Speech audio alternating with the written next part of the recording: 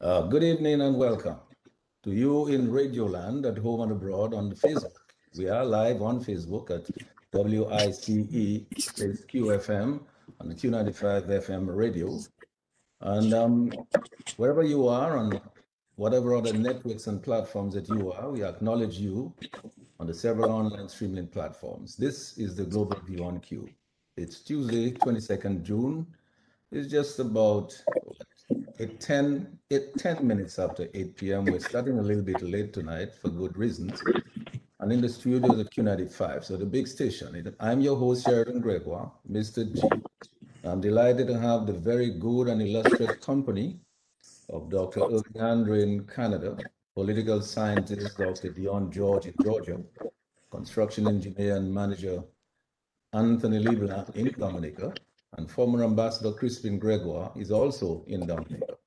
It is the 24th Tuesday of 2021, and it is the year, as we always say, to revive the spirit of graciousness, of love, of peace, of prosperity, and unity among Kalinago and Afro-Caribbean people. We're always live, as we say on Facebook, and so on and so. You can, in fact, the Q family, like our page, share our page right now, and get regular notifications of what's happening, the latest breaking local, regional, and international happenings.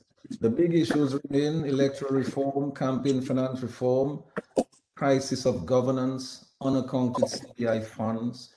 How did we get to this state where foreign entities dominate Dominica's development at the expense of local investors, entrepreneurs, and our own public works corporation? Has manifested in so many no-bid projects like the construction of a proposed international airport, hospitals, schools, houses, health centers, roads, bridges, among many others, and thereby denying growth of indigenous enterprises, skills, and talents. I look forward to my guests assisting us with the answers to a few of these questions. Like what are the issues and developments that led to the appointment and intervention by Sir Dennis Byron as a social consultant for making recommendations for electoral reforms in Dominica? Why indeed does the government of Dominica appear to view Sir Dennis Byron as its savior from genuine electoral reforms and campaign finance reform? We all remember that fifth email madness at the Electoral Commission your winning legacy may be affected. Right? So, is Dominica's democracy at stake? And if so, why is that so? And what should we do? It is clear that all of us Dominicans at home and abroad must rise to the challenge of protecting and sustaining our democracy by clothing and fortifying ourselves in the armor of organization, information, preparation, that is one of the reasons that I'm so delighted to have tonight Dr. Irving Andre, political scientist, Dion George, construction engineer and manager Anthony LeBlanc, former ambassador Crispin Gregoire in Dominica. They're with us tonight to discuss the good, the bad, the ugly, and the dangerous. With no anger, of course, no malice, no personal attacks, no vilification, no divisiveness, bringing back civility, caring society, good governance, proper electoral reforms, and campaign finance reforms. But we continue to recognize the imperative to eliminate poverty. That's why we're doing all of this, aren't we? Stop corruption, generate real income, higher living standards, a better quality of life and health, justice without delays, and the resilient sustainability of our Kalinago and Afro-Caribbean brothers and sisters. So don't go anywhere. Keep it locked right here in this space for another great debate. Let the answers to your questions wherever you are in Dominica, in the religion, join this conversation on Global View on Q. Have your say every Tuesday with me, Mr. G, only on Q95, the big station. So let us remind ourselves, of course, that the genesis of this controversy, electoral reform and campaign finance reform, as we said, was that famous email that advised Prime Minister Skerrit there was madness going on at the Electoral Commission because he was talking about electoral reforms that could affect the Prime Minister's election winning legacy. Members of the commission were changed as a result, and now there are three alleged passport sellers on the government side of the commission the DLP government has now contracted to Dennis Byron to make recommendations for electoral reform. And Prime Minister Skerrit challenged opposition leader Lennox, Lennox Linton to agree that as soon as Sir Dennis's recommendations are submitted, it should be taken to Parliament immediately and passed into law. But alas, Byron appears to be off to a bit of a shaky start with an uncontrolled, open-ended online questionnaire that he has Dominicans to fill out and submit. There are questions about this questionnaire. Most people say the answer is that it should not be used at all. It should be thrown out. However, we look forward to Sir Byron ultimately convening a conference of all parties, finally.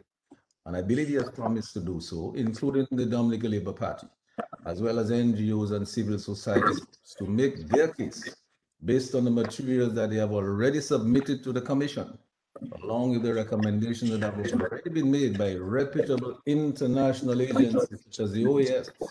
And these recommendations altogether include campaign finance reforms as well, there are also recordings of several substantial radio discussions that contain specific detailed recommendations for electoral reform and campaign finance reform for Dominica. Case studies, the experiences of Jamaica, St. Kitts, and Barbados, and I'm sure that we will refer to them tonight. Our illustrious guests here will do that. Most right-thinking Dominicans at home and abroad are of the view that any recommendations from Sir Dennis Byron which do not result from such an inclusive conference of all parties, as, as mentioned earlier, that do not take into account the experience of our Caribbean sister islands, as stated, should be rejected and should not be brought anywhere close to the Dominica's Parliament for consideration. That's what our thinking is.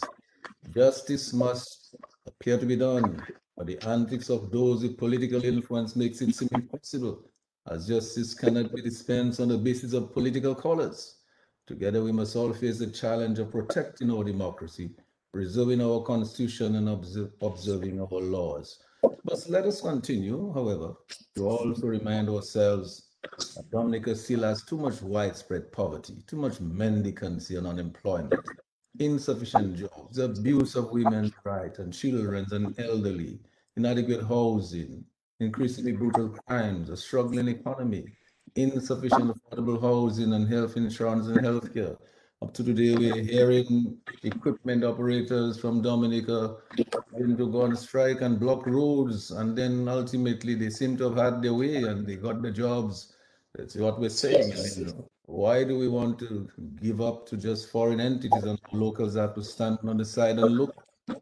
So misdirected and misguided foreign policies and conduct that damages our international image. None of that, of course, is driven by our planned domestic economic or cultural interests.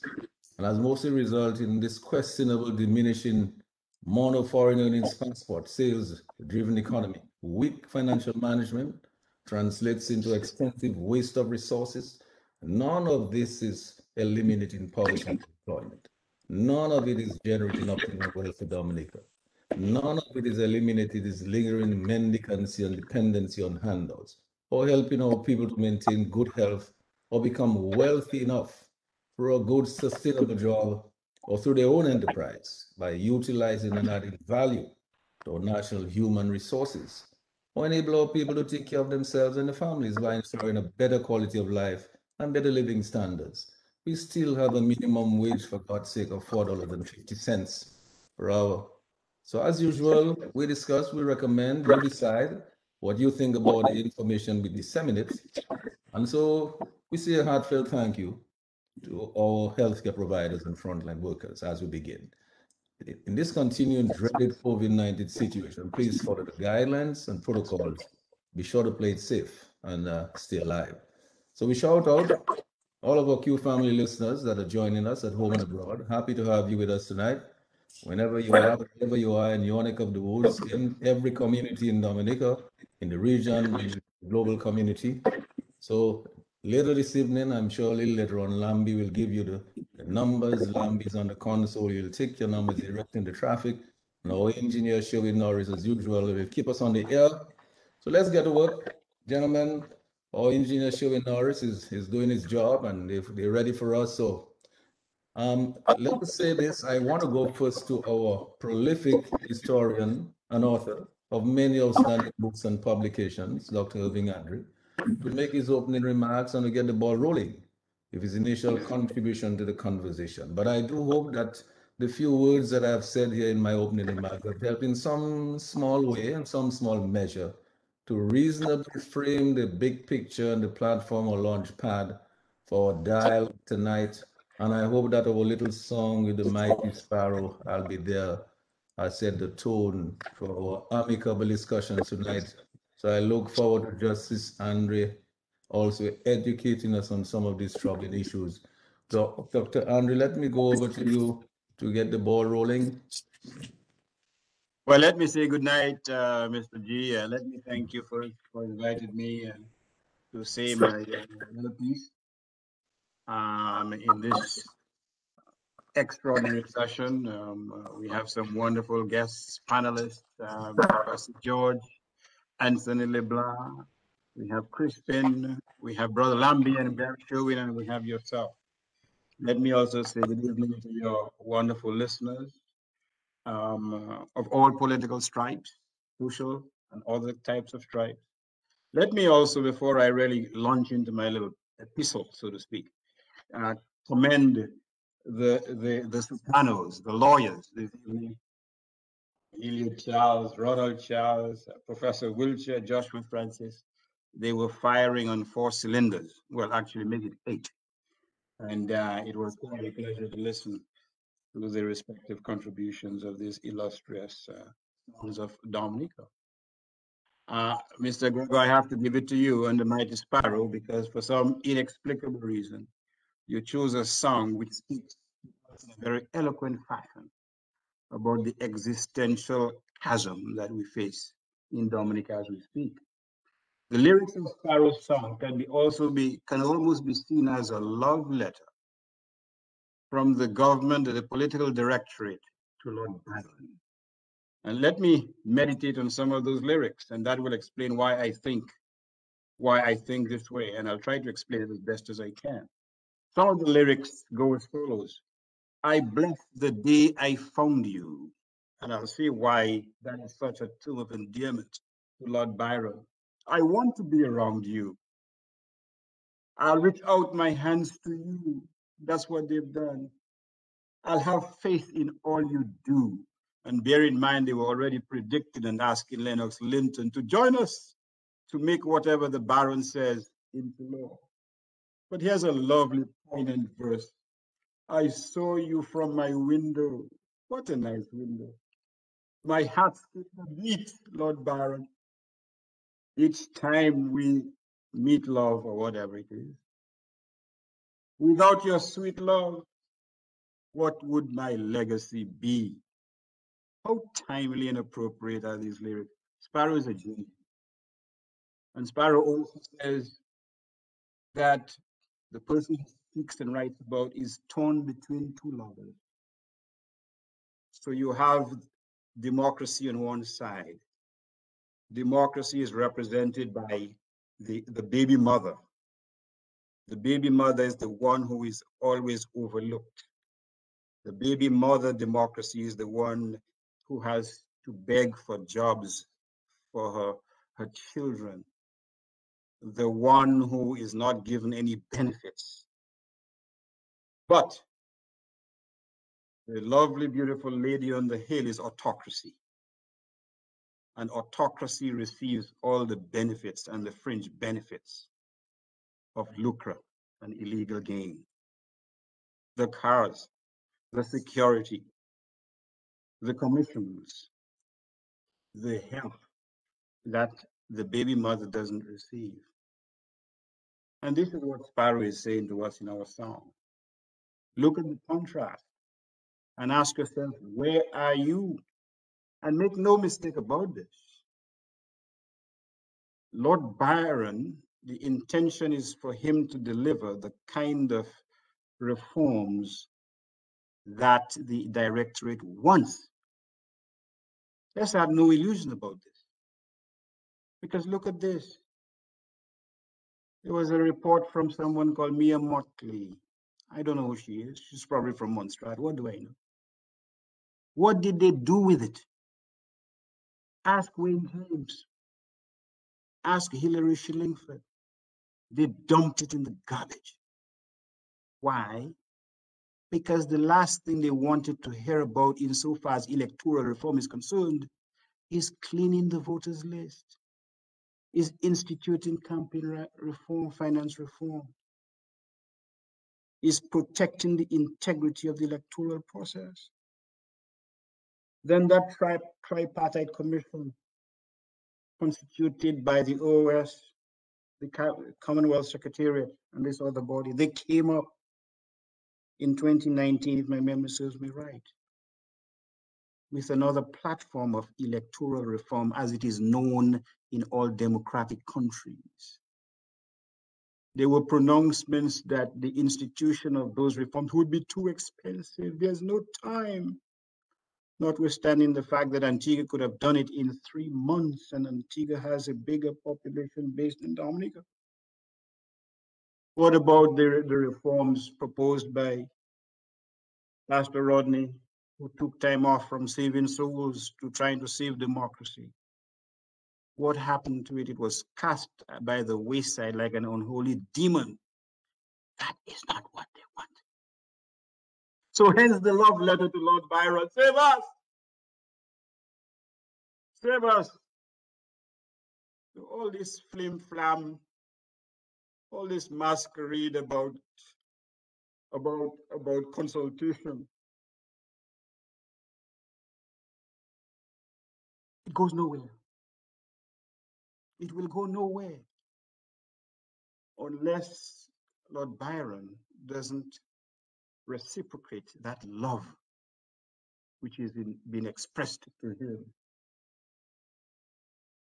Unless he doesn't reciprocate that love which is being extended to him.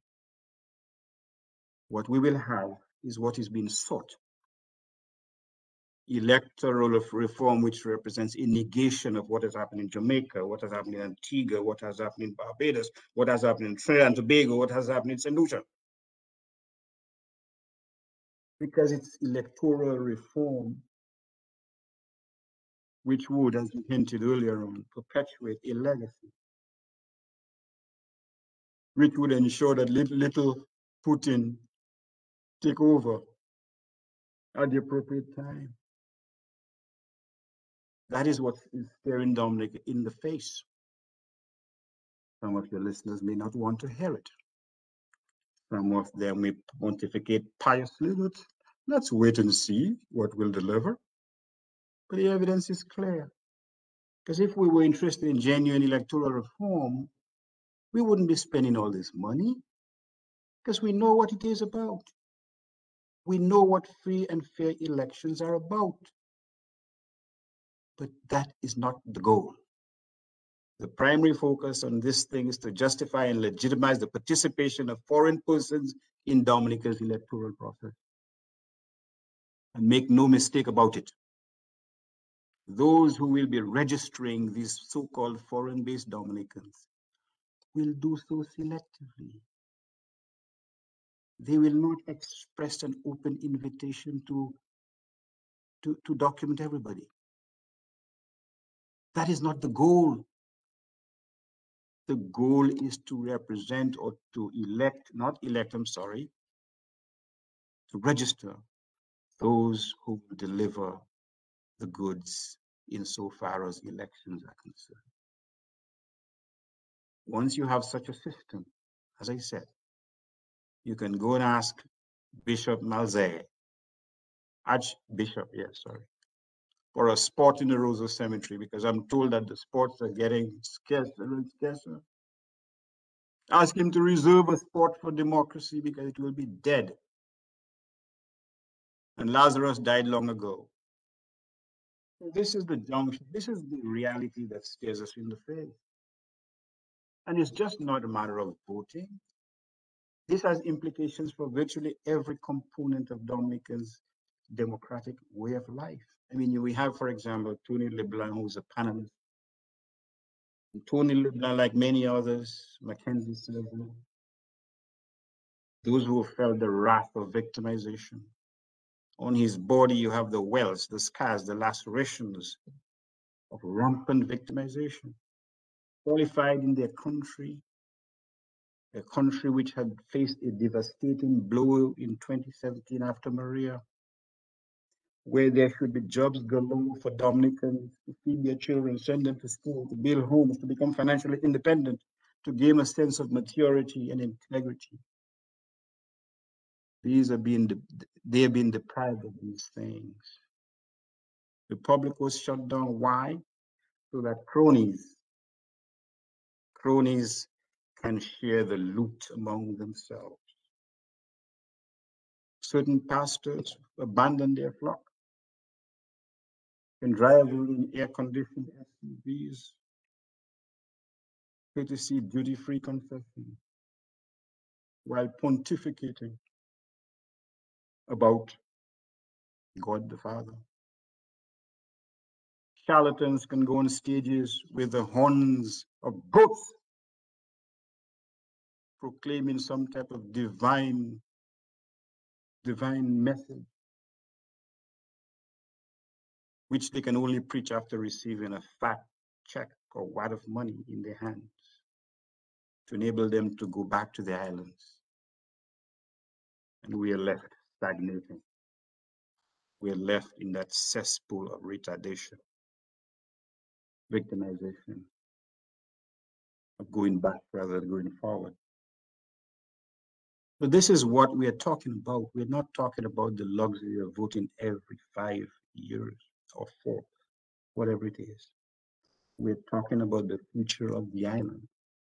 We're talking about your ability to earn a decent living in your own country, we're talking about the expropriation of the wealth of the island by mysterious persons who are paid fat commissions and they disappear into the night. We're talking about ambassadors. You only know the names. Zandoli, I'm sorry, Zampolli is what I meant to say. Threatening or suing for 30 million US dollars. When the majority of, well, a significant portion of Dominica do not even earn $30,000 a year.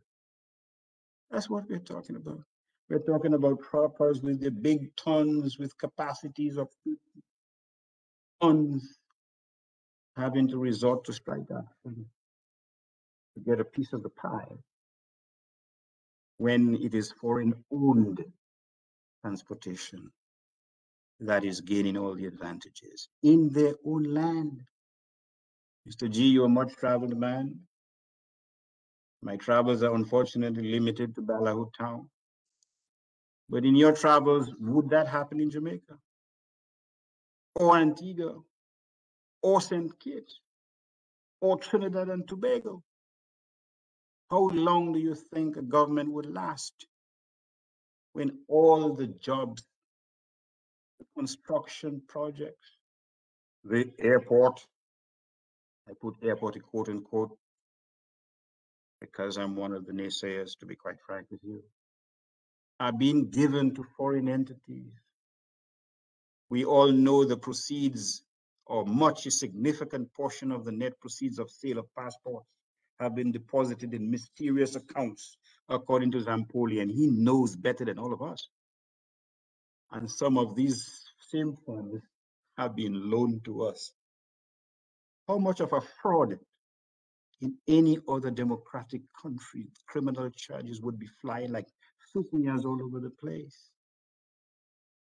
But what about the law enforcement? They're fast asleep.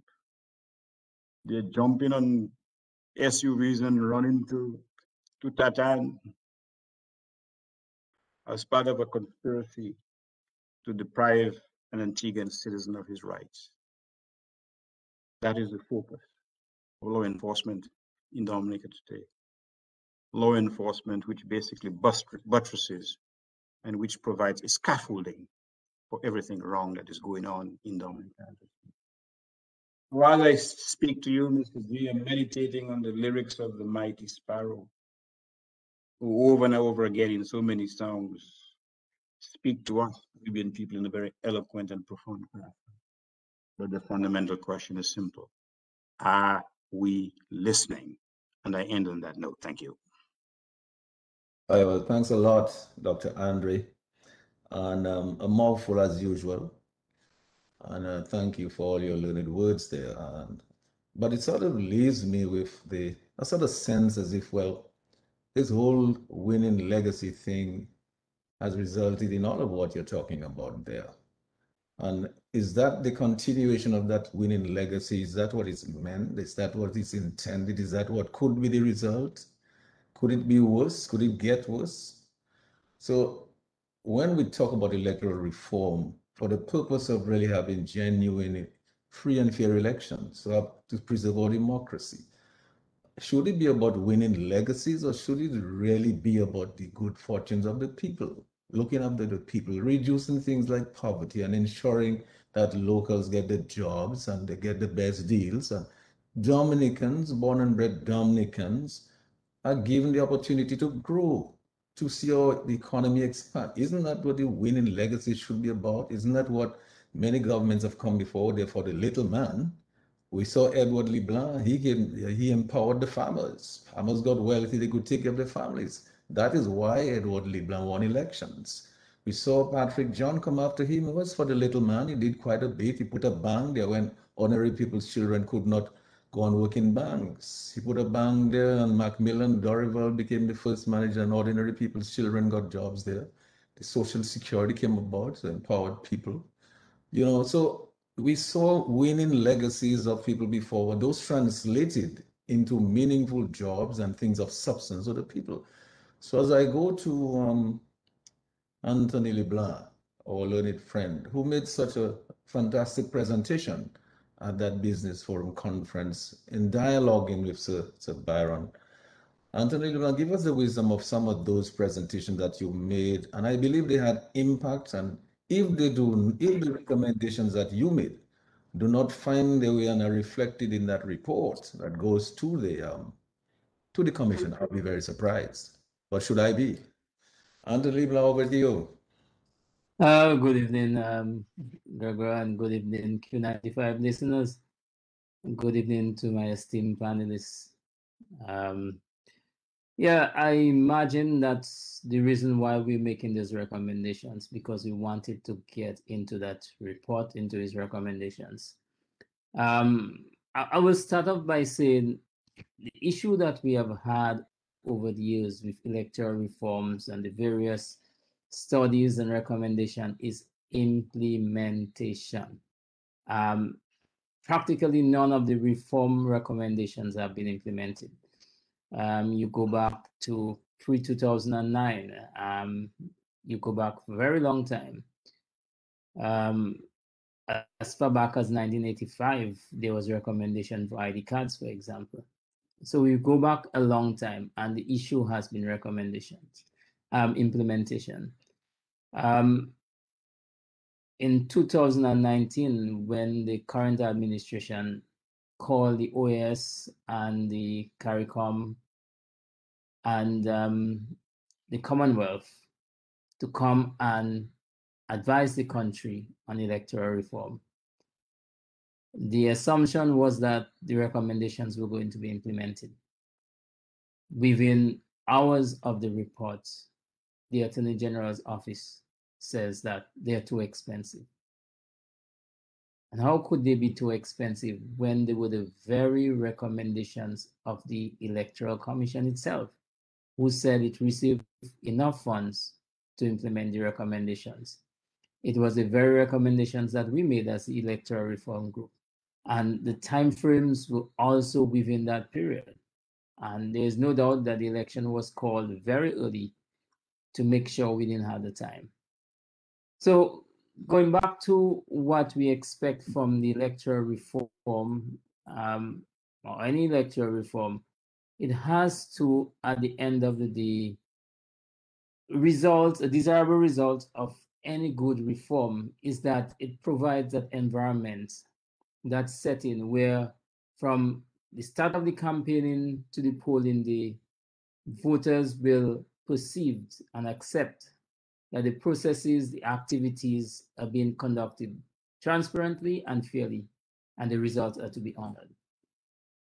The joint mission, mission from the Commonwealth and the OAS reminds us that electoral reform should be ideally a continuous process. It shouldn't be jumped on before an election only. It shouldn't be jumped on after a lot of pressure before the last election and we hire somebody or hire a team to study it. We know where the reforms are. There have been several recommendations. And at the end of the day, going forward, we have to look at the campaign financing, the access to, to, to media, and minimizing the advantage of the incumbency. Um, constituency boundary redistribution, that reform has to come become part of it. Um, we also need to look at whether there should be set boundaries for calling the general elections. It cannot be that one individual can just get up today and say, hey, election, ele election tomorrow without any regard for the process of getting to a general election, without any regard for whether the primary lists have errors and whether there's time to deal with the objections, to deal with corrections. Um, it, it doesn't make sense. That cannot be reform. So reform have to take those things into um, into perspective. But importantly, reform have to deal with the constitutional provisions about the Electoral Commission, its constitution, its financing, its independence, its powers.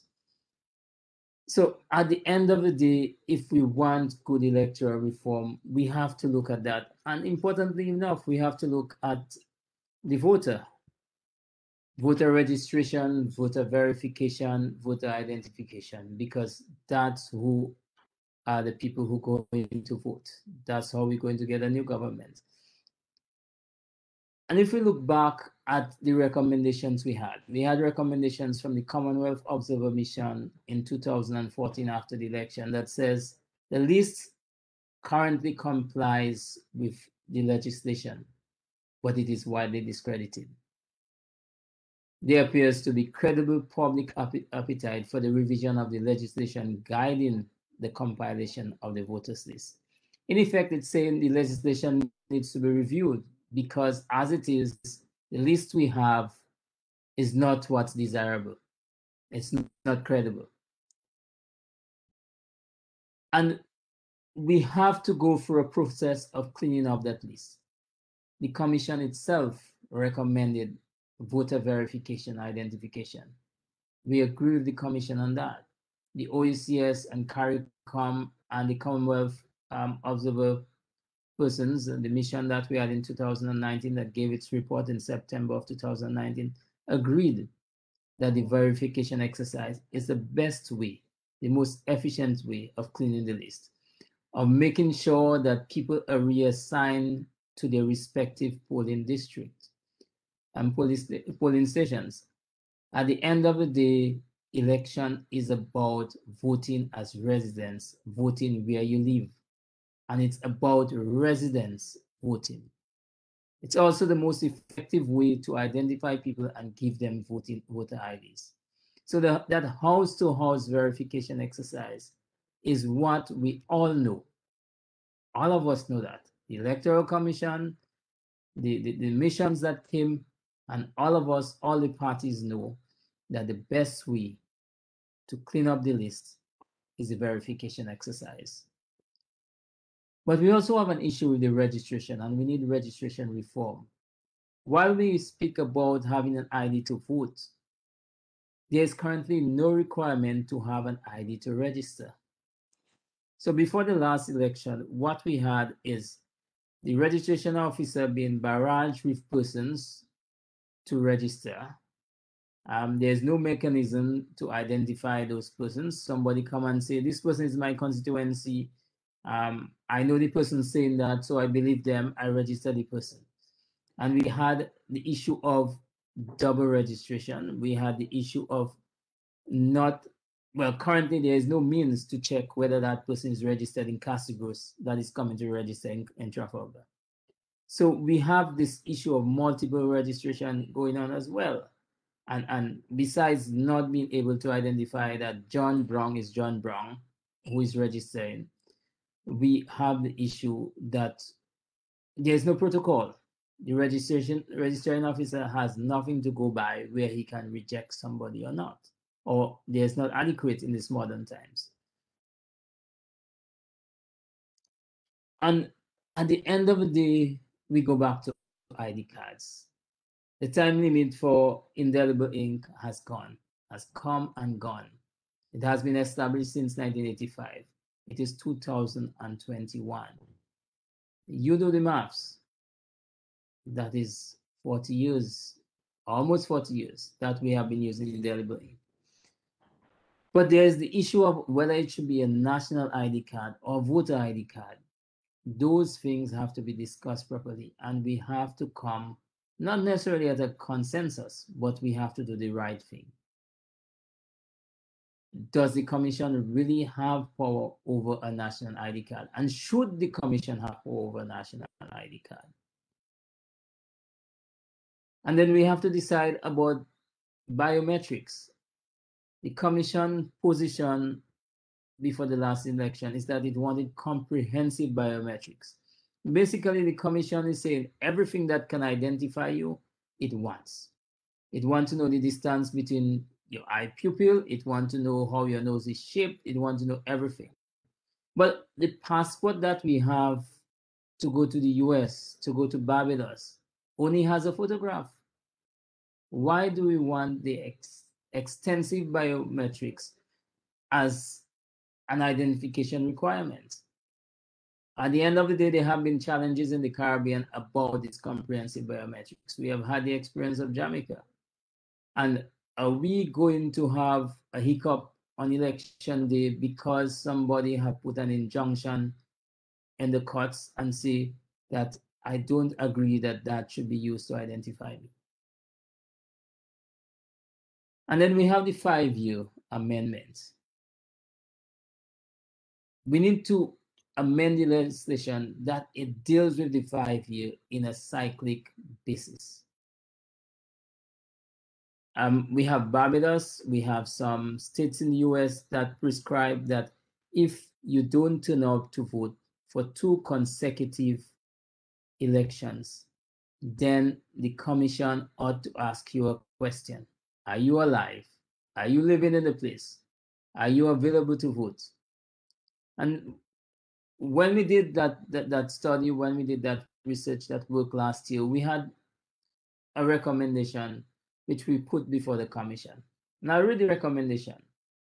It says an amendment is made either to the existing regulation, if possible, or to the parent relevant laws that persons who do not present themselves to vote in two consecutive general elections over a five-year period not less than over a period not less than five years shall be removed from the list of eligible voters. And we had a mechanism. It's not just take you out. The Electoral Commission, having examined the data on the past two consecutive general election, shall write to every registered voter at their registered address. You registered at Otrobando in St. Joseph, we write you at Otrobando in St. Joseph requesting that the voter confirms that he still resides at the registered address. The onus would be on that registered elector to respond to electoral commission stating either that it still he or she still resides in the registered address or indicating it has moved to either another polling district or out of state and the time since it has done so. If the registered elector does not respond, the electoral office shall then remove the name from the list of registered voters.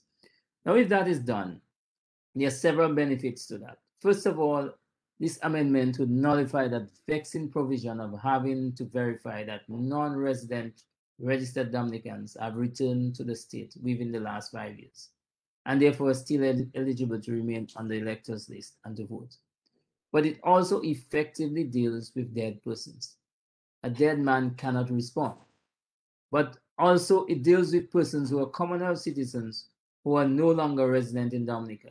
A Commonwealth citizen after living in Dominica for 12 months can register to vote and can vote. But only if you're resident in Dominica. If you're no more resident in Dominica, you cannot respond and say, I still live in Otrobando. It is a very cost-effective way to continuously revise and sanitize the list. After every election, Electoral Commission, Electoral Office can sanitize the list like that. And we have a precedent. The Dominica Social Security Pension Scheme, we know rights to every pensioner every year.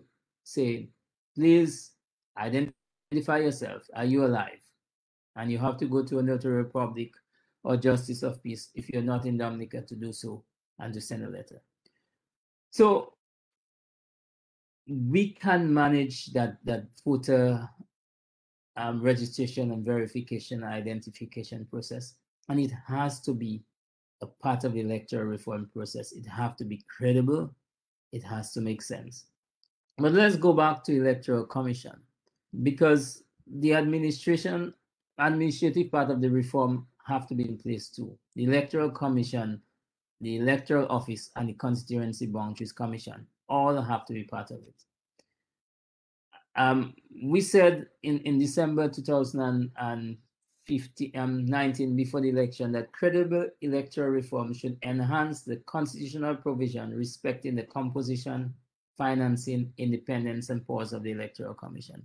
We know, all of us know, that in recent years and recent electoral cycles, there have been significant public concern and even accusation that members of the Electoral Commission have been functioning based on party dictates rather than national interests. The current commission is two members of the opposition um, party, who is governed by the opposition leader, and two members from the party forming the government side, and one member nominated by the president. I will not go as far as saying whether or not the president is neutral, but let's assume it's neutral. You already have a division. It is recommended that the membership to the commission should not be limited to only two political parties and a nominee of the president. We recommend, of course, that no more than one commissioner should come from any one political party one political party should not have so much influence over the electoral process.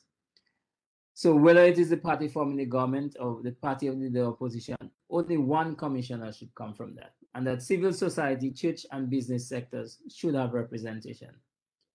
And therefore we recommend that possibly the commission could have nine, seven persons, one member from the governing side, one member from the party forming the leader of the opposition, the, the party who the leader of the opposition is, is, is a member. One member jointly recommended by the remaining political parties. The other remaining political parties, supposedly all opposite, opposition parties, they should be able to come together and nominate one so that the president can, can have on, on that commission.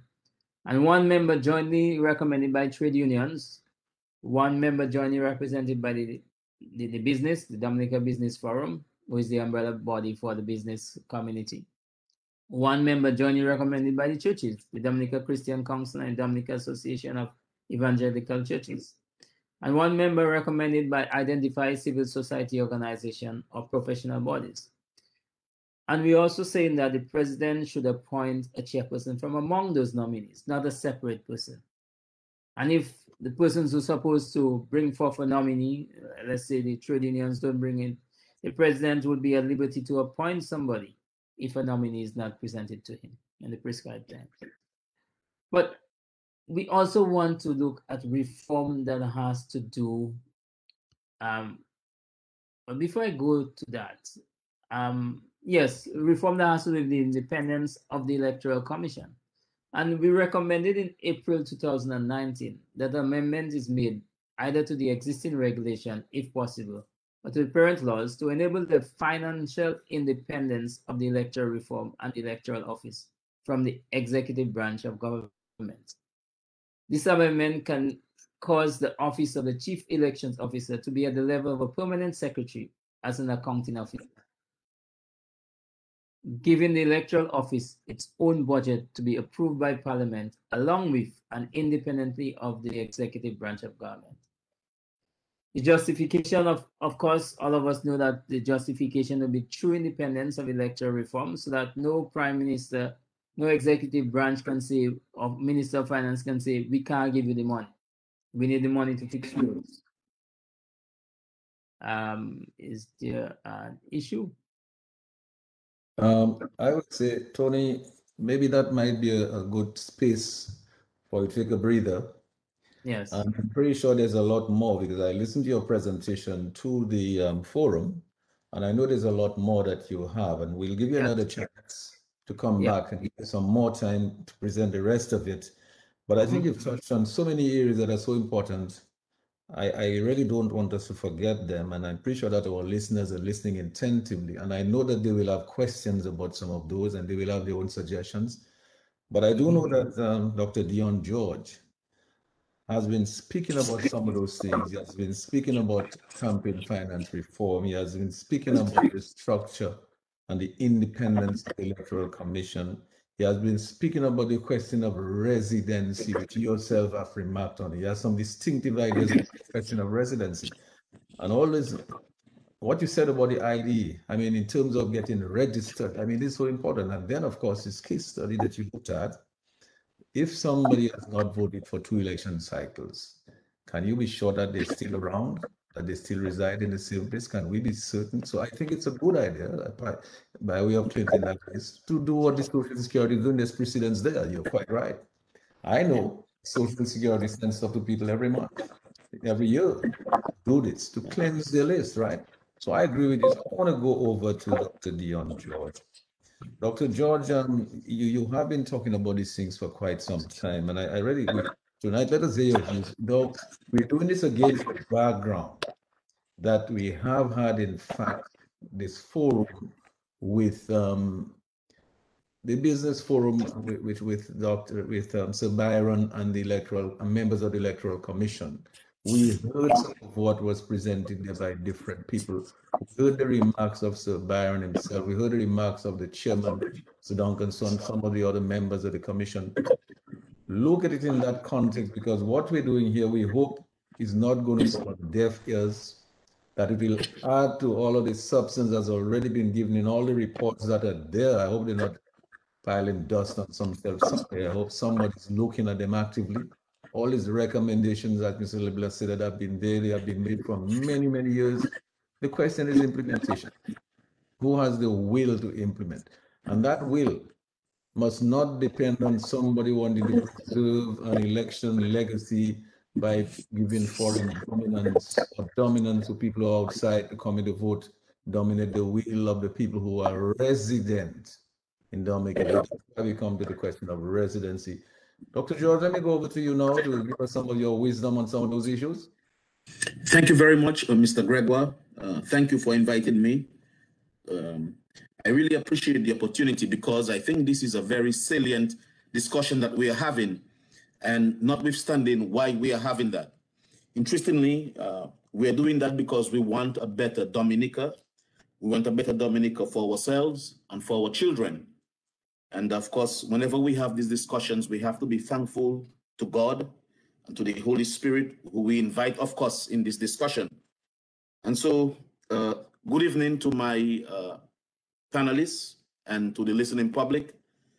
And um, thank you, Mr. Gregoire, again.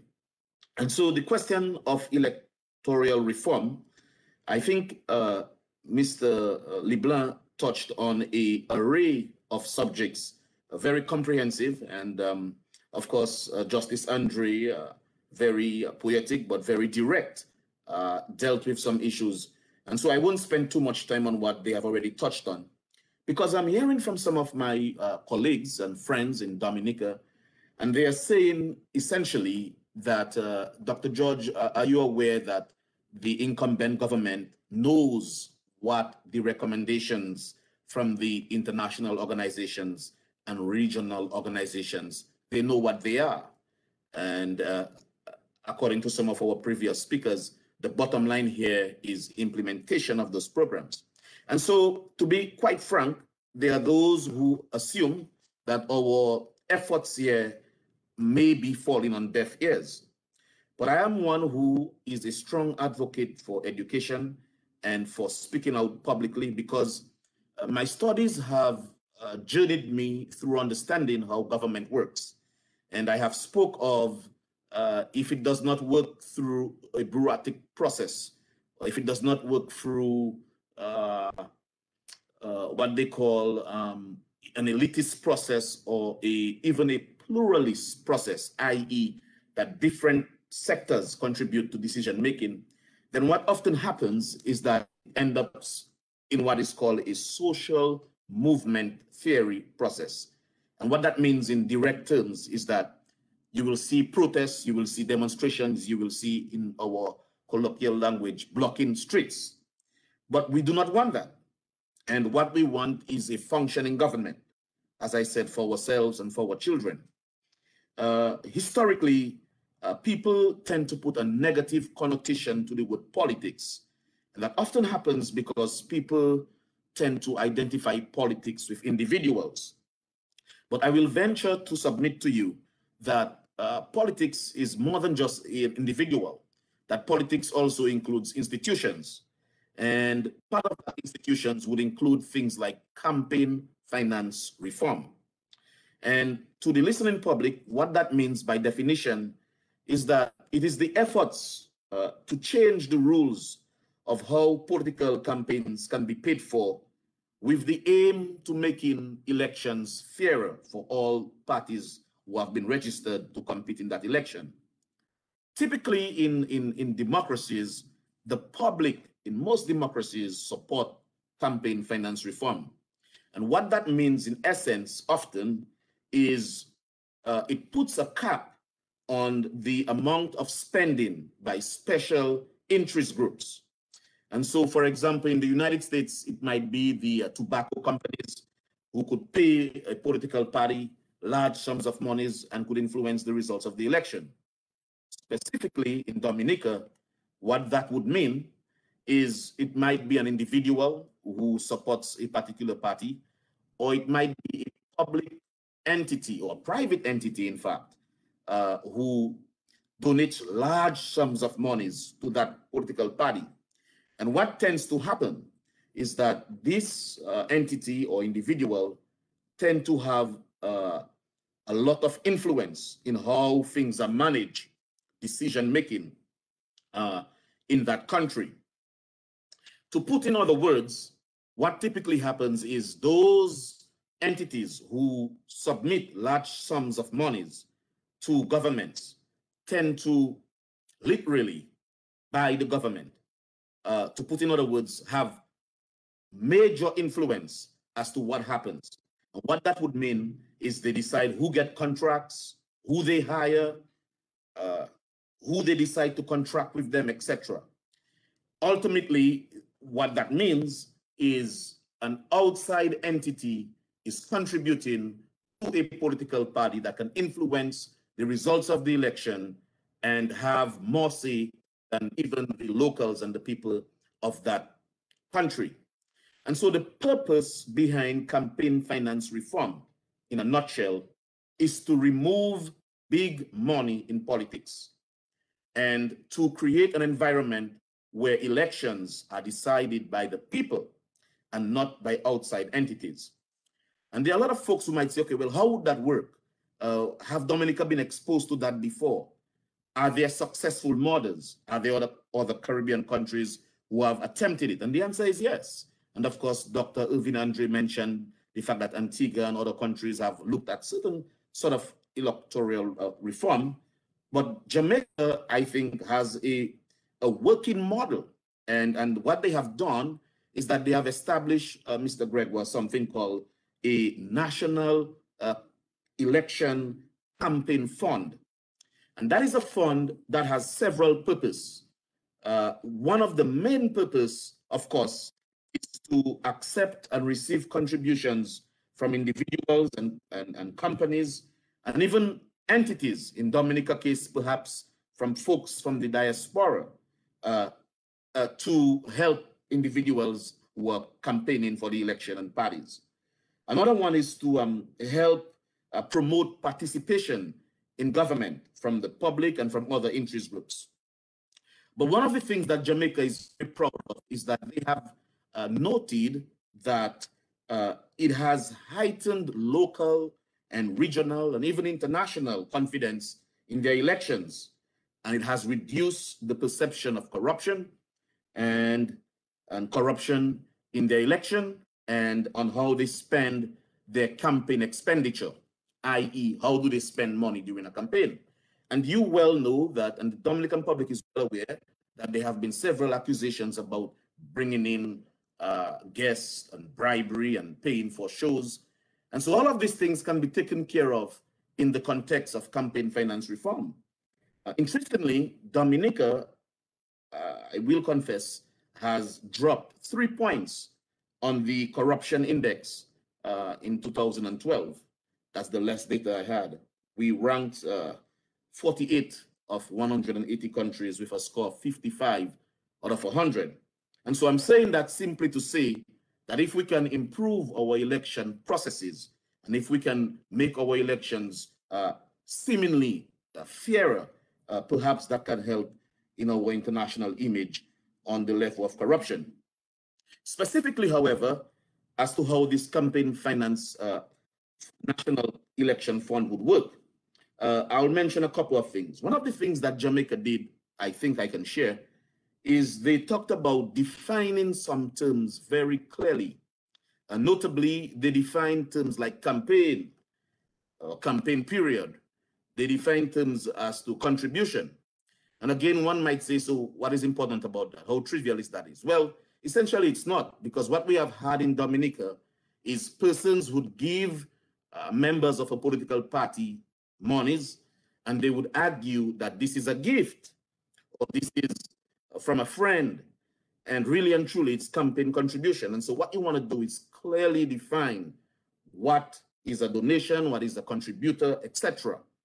Uh, another thing that uh, the Jamaicans did, which I think we can consider in our elections, is to uh, consider who persons receive monies from.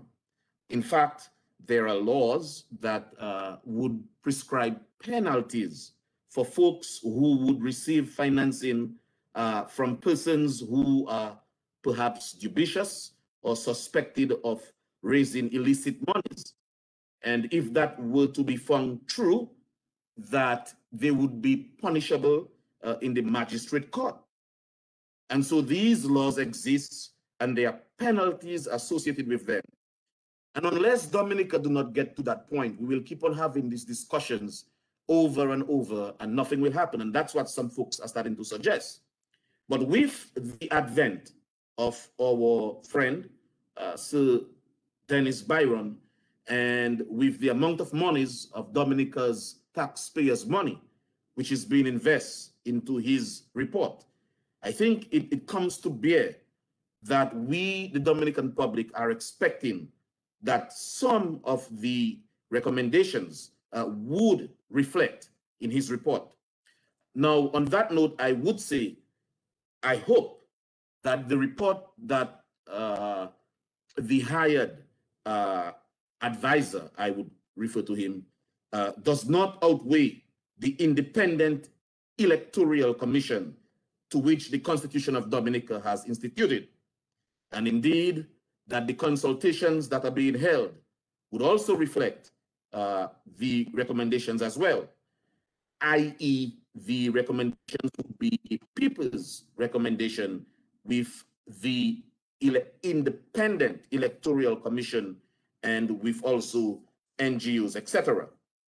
On that note, I would suggest uh, that we not only have campaign finance reform, but as some of my previous colleagues on this panel mentioned, that Dominica has come to the stage that after being independent from the British, a system that we inherited that we did not create for ourselves, that we can fix our country, we can fix the way we work together as a people. And so we would need what is called constitutional reform. To that point, I suggest that we have fixed elections day. Of course, perhaps I'm echoing, echoing something that has been mentioned already. But in this day and age, I think it's ridiculous that one person can say, hey, boy, be careful, I call election tomorrow, you know. And then election is called in a month. Long story short, it's very unfair. And we want, as a people, after one party or one person has passed away or moved on. That we leave something that our children can inherit, something that we know that is an institution that is functional. And so I suggest that we have fixed election date. Even the independent electoral uh, commission should be able to disperse the funds from the national campaign fund. In fact, we would have something which is called a campaign period, let's say three months before the election, knowing when is the election date as well. And so then it's election time and persons get their fund from the national campaign fund and it's a level playing field. And if you're so confident in your work and you're so confident in your track record, you should not be afraid to have a fair fight. And so, with that being said, uh, it brings me to the composition of the what I would suggest independent electoral commission. Of course, in the consultation we had on Thursday with Sir Dennis Byron, uh, who seemingly seemed to be very receptive, um, uh, I suggested diluting the effect of a dominant incumbency or a dominant party. Because the current situation, as noted earlier, is that there are two members from the two dominant parties, and of course, there is a chair. And what has happened, as we all know, it has left us in a stalemate. And so it's not functional. And so my recommendation was to dilute the effect of a dominant party. And so my suggestion was to include perhaps one member from the legal fraternity, perhaps one member from the um, from the uh, religious fraternity, perhaps one member from an NGO, i.e., the economic engine of the country, and um, and so I, I, I suggested like four persons outside of the politicians themselves. It doesn't have to be that prescribed. It could be seven. But the point and the and the ethos here is that we dilute the effect of a dominant party. On that note, I also want to mention something about the presidency. I think it's high time that, you know, people talk about, well, I don't know if the president is neutral, he's supposed to be a ceremonial position, etc. Well, there's a way to deal with that. And the way to deal with that, I would suggest that there's a school of thought that says that parliamentary democracies like Dominica ought to consider making even the office of the presidency have term limits. Term limits that after an election, perhaps the winning party can appoint their own president instead of having some president lingering there. That's just a school of thought. It doesn't have to be. In, in fact, there's another school of thought that suggests that we could do like the US and elect the president the same way we elect the prime minister. You know, but critics to that view would contest that perhaps that's too expensive to have another election for the presidency. But I'm throwing these ideas out there as considerations that can be considered in how we move forward instead of having this stalemate that is very unfair to what is currently going on. The next thing I would like to touch on is that the opposition, whoever they are, have a play and a right also in this process of electoral reform. One of the things that they can do is to work as an intelligentsia agency with foreign government to, uh, to perhaps report suspected persons who are voting illegally. And of course, uh, talking about voting illegally, that brings me to a point that was mentioned earlier. But of course, I think it's really, really important that we deal with that because when the CARICOM report gave its recommendation, they spoke specifically about voting by the diaspora. And if I may, if you can allow me briefly, uh, some of the recommendations says that all electors coming from the diaspora to vote should be asked to provide a valid passport as identification in order to exercise his or her franchise. It went on to say that the Joint Mission recommends that urgent and inclusive consultation to be conducted on the process of the overseas verification of electors in order to settle and inform the Commission's actions in this regard. But of course, uh, we in the Dominican public uh, listening to QFM uh, knows that the uh, Registration of Election Act, Section 3, 4, 5, 6, 7, 8, on page 26 of the Constitution of Dominica speaks very specifically about the issue of residency. Indeed, it says that, and if I may quote section 4, that no person shall, for the purpose of the act, be deemed to be ordinarily resident in any polling district to which he has come for the purpose of engaging in temporary employment. And so, what that simply means, say, for example, someone is dating someone from the village of Mero or St. Joseph, and they sleep there, and everybody in St. Joe, Mero know them, but then they have to move back to Salisbury. But you, you cannot vote in St. Joseph and still vote in Salisbury. It, it clearly says in the Constitution, if you work somewhere temporarily, that's not your resident. Now let's make that applicable to what is really happening in Dominica. If someone works in Atlanta, Georgia, or New York City, and you work over there, you stay over there, you live over there, you have an ID, you're a resident, you get benefits from the government, and you can come. How can you come back and vote in your in your village in Dominica? That totally disregards the issue of residency. And so the recommendation here is this that this issue of if you're in the country uh, within five years, that is not a prescription for residency. And so one of the recommendations, therefore, should be to remove that. And clearly, and the Electoral Commission can be charged with that, clearly define what is residency. That is somewhere that you live, somewhere that you stay, and if you go, you intend to come back within a certain prescribed time. The last point I will touch on before I, I, I pass on to my next colleague is the issue of this survey. And this survey, of course, has been criticized by a lot of people. And there are some people who say, oh, it's a good survey, you know, COVID virus, so they have to do it online. But I will say this data drives policy. And that is true for business, that is true for government. That data drives policy. But the data has to be correct. Imagine that this data that persons can retake infinity on and on and on.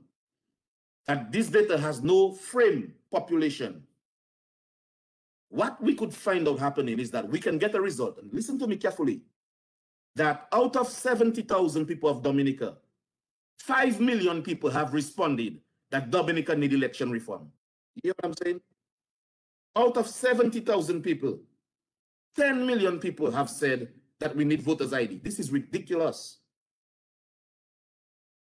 In other words, the response cannot fit the Dominican population. I mean, I don't want to advise what they should do with the survey. Maybe right now at this point, they could perhaps suggest that this is what the general public, including the rest of the world, thinks about electoral reform in Dominica. And then they can write an article about it because that's what the data would show, what the rest of the world thinks. But to carry out a survey that does not have a controlled frame in political science, the application is there is no generality. You cannot use it to generalize the Dominican public. And so the humble recommendation is do not use it for any sort of indication as to what the Dominican people thinks. Mr. Gregoire, thank you so much, and I can send it to my next presenter. Yes, and, and as usual, thank you. Thanks a lot, um, Dr. George.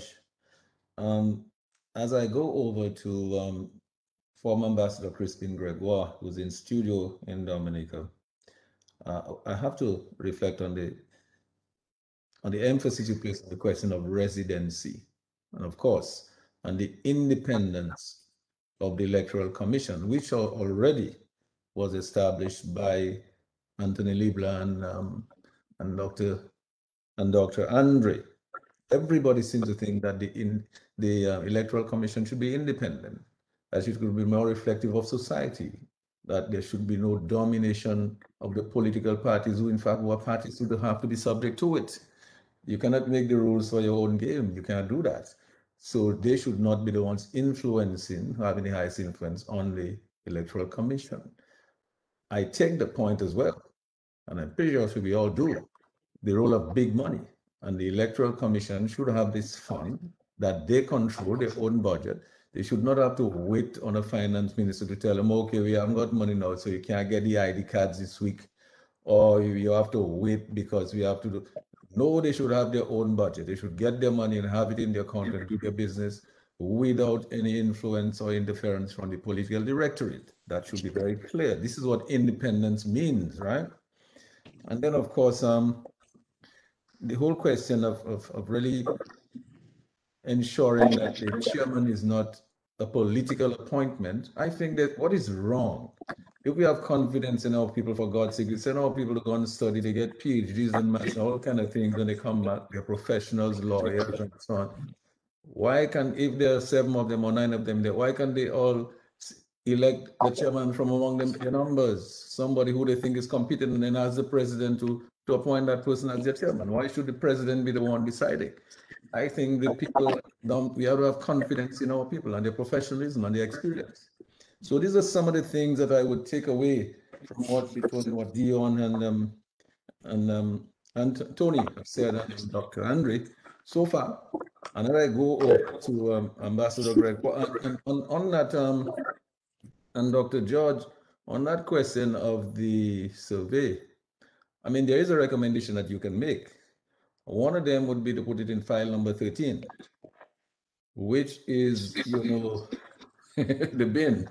Because frankly, if you're going to tell me, Dr. George, that is an open-ended thing, we have about maybe 60 to 70,000 people in Namibia. Not all of them vote, maybe about 50,000 are eligible to vote or less. If that is what we have, why can we, how can we have a survey that would allow 100,000 people or more to vote? If it cannot be just open-ended. So anytime you, you it's open-ended, it cannot be cannot be real. I mean, the data, no business person, no manager should really use that kind of data to make decisions. And Mr. Greg, policy decisions. If I may just uh, interject a little bit as well, I, I think it's fair that I would say that on behalf of the Dominican public. I mean, we have to consider that not everybody in Dominica has a computer. Not everybody in Dominica has the internet. And I think it's very unfair to the people perhaps in the country or perhaps do not own a computer or internet who are part of the Dominican public to not be part of the response of that survey. And so simply put, the result is skewed on so many levels. It leaves out an entire sector of the Dominican public. I just thought I would have mentioned that. I think you're reinforcing my point about maybe putting it in file 13. So let me go over to Ambassador, former Ambassador Crispin Gregoire. Um, Ambassador Gregoire, you, I know there are a number of things that you yourself presented to the Electoral Commission. I'm sure you'll want to reinforce those things and to maybe to introduce some things that you really did not have to, time to introduce them because I've heard you on many platforms, especially on our shows here. I know that you will want to go back to the context of the 19, 2019 election. see what happened or even before that, to see where electoral reform comes into play there. And um, you, you, I'm sure you'll want to maybe look a little bit at the whole question of, of Sir Byron's appointment. I noticed that our esteemed Justice Irving Andre did make some references to, to Sparrow's Calypso. I'll be there. But you yourself may have your own suggestions, your own thoughts as to how that came into being. And of course, I know that you've talked before about the recommendations of the OAS, and I believe you've already told us some time ago the OAS probably would have been prepared to provide the expertise and to pay for it to do the reforms that we're talking about there. So you you asked the question, why would we spend five hundred thousand dollars to do that when the OAS might have paid for it?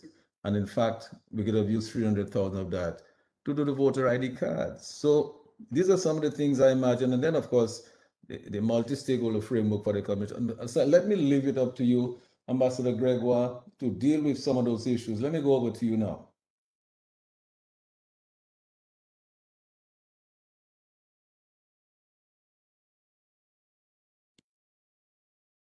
Your, your mic is, is closed on the computer next to you, so So you have, let me have to open the mic on your computer there. All right. You, open the mic for him.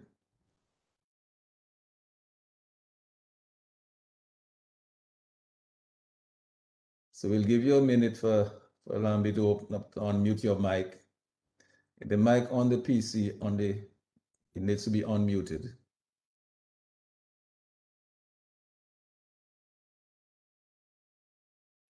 Is that better? Is that, Uh, now, now we can hear your powerful voice loud and clear. okay. Um, let me say good evening to Dominicans at home and abroad. And also, I, I like to salute the non-Dominicans who are listening to Global View every week. Um, let me say good evening to my friends and people in South City, Grand Bay, and the Kalinago territory. I, eh, Sheridan, I wanted to to say that um, start off by saying that electoral reform, in my view, is the only strategy to bring back a level playing field in electoral politics, fairness, and and what what has happened to our country is that because of three cycles of on what I call unfair electoral cycles, we now have a problem in that we, we don't have a national consensus. It used to be that after an election in Dominica, if you go back to the 80s and the 90s, um, an election is held, um, people compete very, um, very um, closely, and uh, they do they work for their parties. And then when the election comes, the, the one party wins and the one that loses accepts the result. And that is what is lacking in Dominica today. That from 2009 to now, um, the the opposition supporters they don't embrace the result of the election because they feel that it's not a fair result and, and successive elections. So we, we have 2009, 2014, then 2019, three election cycles in what a majority of Dominicans feel is not a fair process. Now, it doesn't matter to me who wins in, in, in elections. What matters to me is how did they win? Did they win? Was it fair? Did they steal the election? Did they have dead people voting? I mean, the question is, was it a fair process? I would say that the elections before 2009 was embraced by the people and they accepted the result. Whether the party won or lost, they accepted that.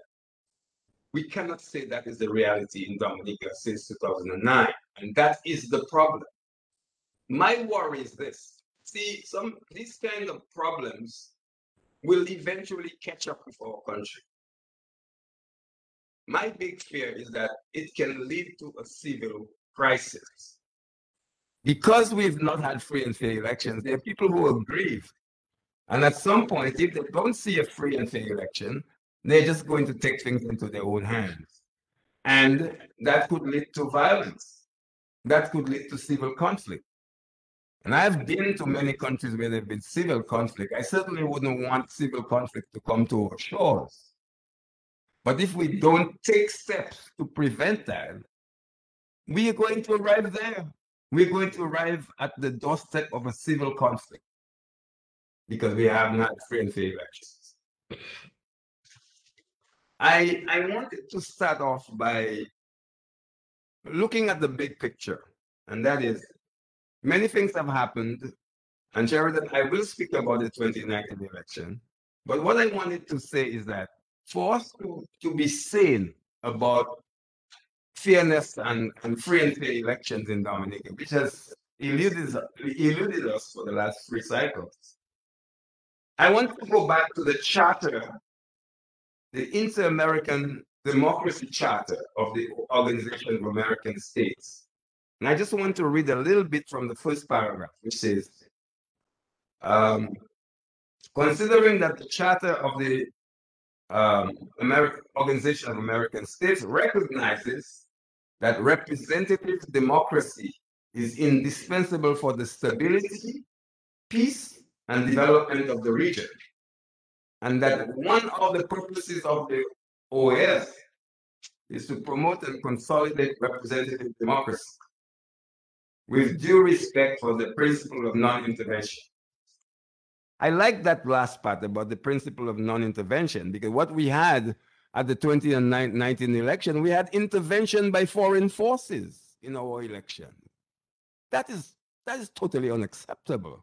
And I, I, I look forward for the day when we will take, we'll file a complaint against the Regional Security Service before the, in, the Inter-American Court on Human Rights. I believe that's where we have to go with that issue. It's not a closed issue yet. I also want to say, you know, just to to frame what is electoral reform, because sometimes people say we don't need electoral reform. Well, for me, electoral reform is simply a change in the electoral system to improve how the public desires that are expressed in election results. That's what electoral reform is all about. When, uh, when the system for electing a government is broken, as it is in Dominica, um, we have to we have to have a reform. I mean, can you imagine that Dominica is the only country in the CARICOM where, that does not require a voter ID card to vote? So you can just show up and say, I am Tom Brown, and Tom Brown's list is name is on that list, and, and you vote as Tom Brown. I, I know I know people in the 2019 election who voted on dead people's names because there are 20,000 dead people on our list. I, you know, these are the kind of glaring kind of problems that we have. Um, and uh, and then you add to that incumbency for 20 years. How can an opposition party ever win with this kind of broken electoral governing system that we have in Dominica? Now, I think it's it's it's timely that um, after the 2019 election, we're now looking back. It's now 40 years. We're independent, 42 years. And the system is broken. Our electoral governance system is broken, so we have to fix it. And that is why I have said in very um, clear terms that what is needed in Dominica is a multi party consultation at which no party has any advantage, not the ruling party every party goes into that multi-stakeholder consultation having no advantage because we're talking about building an electoral system for the next 50 years. So it, it better we better get it right now. And I'm saying to you, there are a lot of things that are broken in the Dominica electoral system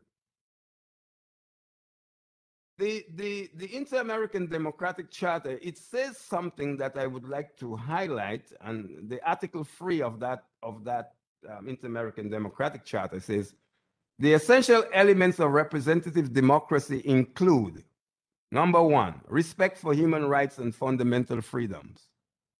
And those fundamental freedoms are actually outlined in our Constitution, in the first part of our Constitution. Access to the exercise of power in accordance with the rule of law. Do we have that here? I, we have some of it, but I don't think it's totally in that realm.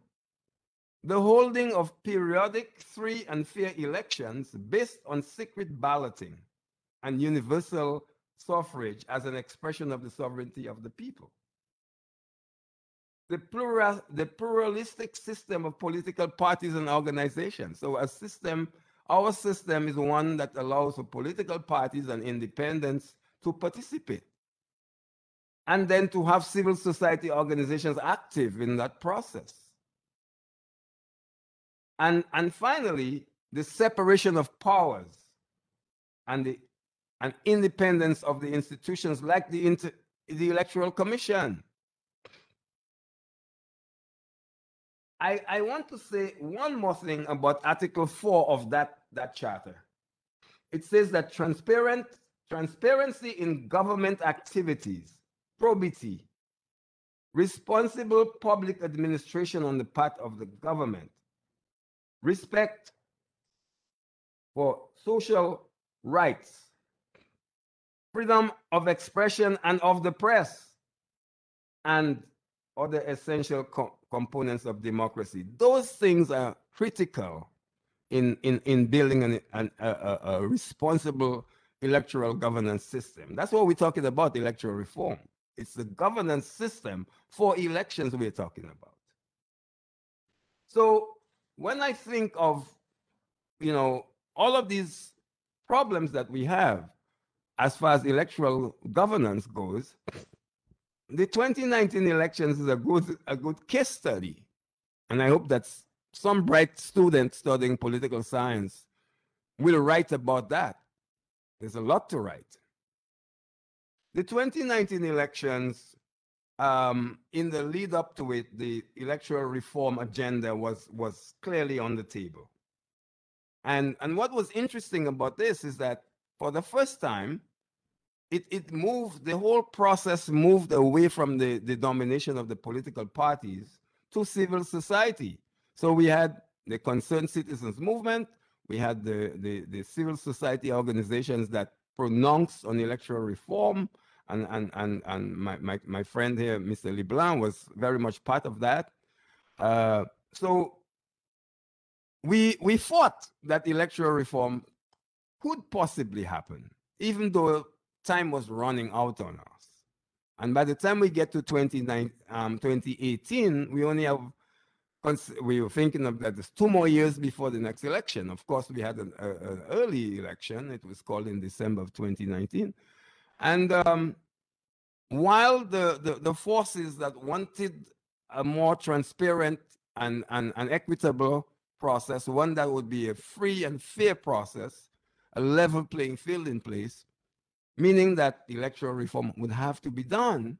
I didn't see the political will on the part of the Labour Party for doing that.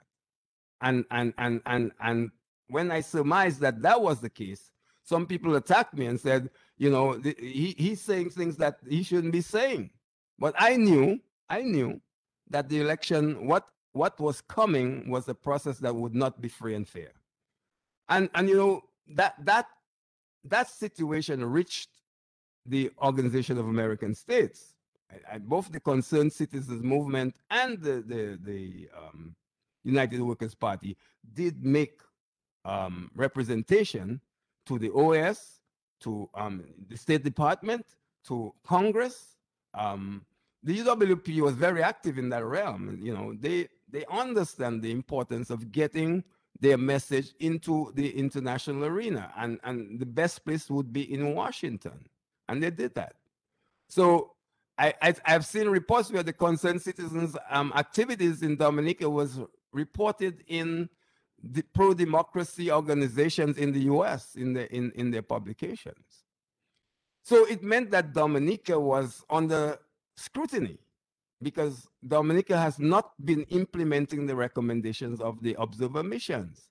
If they, I remember the Secretary General when when he um, made some pronouncement about the um, election process in Dominica, and that I, in particular, my I did go visit the, the Secretary General on on on free and fair elections in Dominica, and um, he received me, and um, and the backlash that happened after that, um, he sent out a tweet with my picture and uh, and him and, and and me asking for help so that we can have a free and fair process in Dominica. I knew then and that we're talking about February of 2019. I knew then that there was no political will to have a free and fair election in Dominica. And if there was, if it would happen, it would it would be violent. And it almost led to that. You remember Negmahon Square being, you know, the, the, the citadel of, of, of democratic democratic aspiration. And and um, people were, were protesting in the streets um, the government decided that even though they had invited the OAS and the Commonwealth and the CARICOM in, in, in, in, in unison, that they, um, they made a great recommendation in the time frame. It wasn't for comprehensive electoral reform, it was for limited electoral reform. And the government still did not support it, or the ruling party, the Dominican Labour Party, did not support it. And, and they said it would be too, too costly and too chaotic to implement. But they had taken, they had let the whole five years go on and they did nothing. And here we are again after this election. They have done something which baffles me because, um, as much as I have some respect for um, Sir Dennis Byron as an international jurist, he served on the one of the UN tribunals. Um, I believe that the way that he was recruited is actually not legal. It is not the prime minister who, who decides on picking people to deal with electoral issues. No. In fact, the separation of powers would not allow him to do that. It is the Electoral Commission under the Constitution that is the only one that has the authority to engage people to be involved in any aspect of electoral governance. And in the separation of powers of our Constitution, the Prime Minister would have no business to deal with that. That is for the preserve of the Electoral Commission. The fact that he would he would be the one to contract. There's nothing, it's not illegal for the Prime Minister to contract this guy. The thing is that that is a responsibility for the commission, not for him. The only role he has to play is to make the finance available to the Electoral Commission when they ask for it. Not to be deciding how much to pay Mr. Byron, and that kind of thing. Leave that to the commission. You are jumping the gun, sir. So that is what we're saying. We're saying that the commission must be independent. And I, and I love it when um, Professor George here said um, that what is one of the fundamental changes that we have to achieve with this electoral reform is the change in the electoral commission. I believe, and I'll say that tonight, that the Electoral Commission, we must remove the voting rights from the politicians on the commission.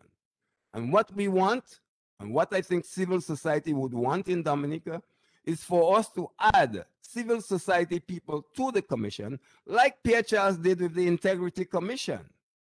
But they removed that. They removed civil society from the Integrity Commission. I'm saying that on the um, electoral commission, we must have civil society representation. And until we have that, we will have the log jam that is the hallmark of the um, electoral commission. So I wanted to just quickly, I know I have a time constraint, but I wanted to focus on the OAS recommendations. And I, for those of you who want to read the details, please go and read. Just Google the 2019 final report of the OAS on the Dominica elections and read it. And in that report, it's a 65 page report, but it, it's every single word in it is important. It, it focuses on, in the early part of the report, on, on the recommendations. And it makes about um, a number, about eight, eight recommendations. I'll just go through them very quickly, not in detail, but to mention to you because I want you to go and read it for yourself.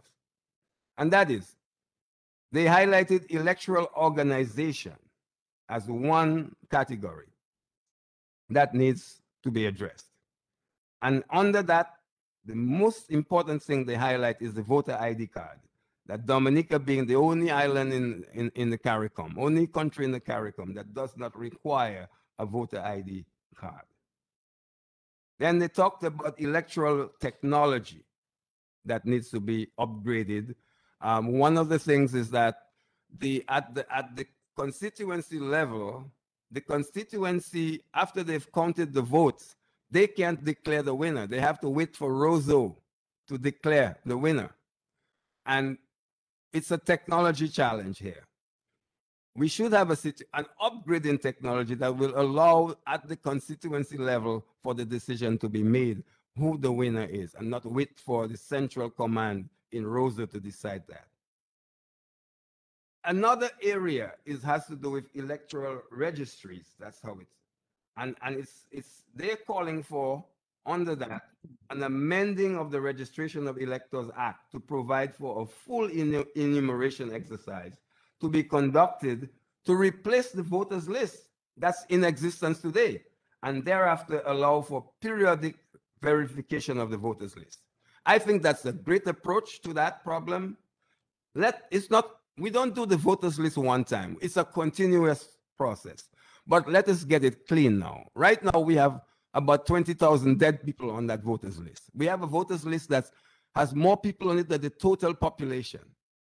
Um, those things have to change. I mean, I, I it, it's, it's laughable that I can tell people abroad that my country um, doesn't require a voter ID card.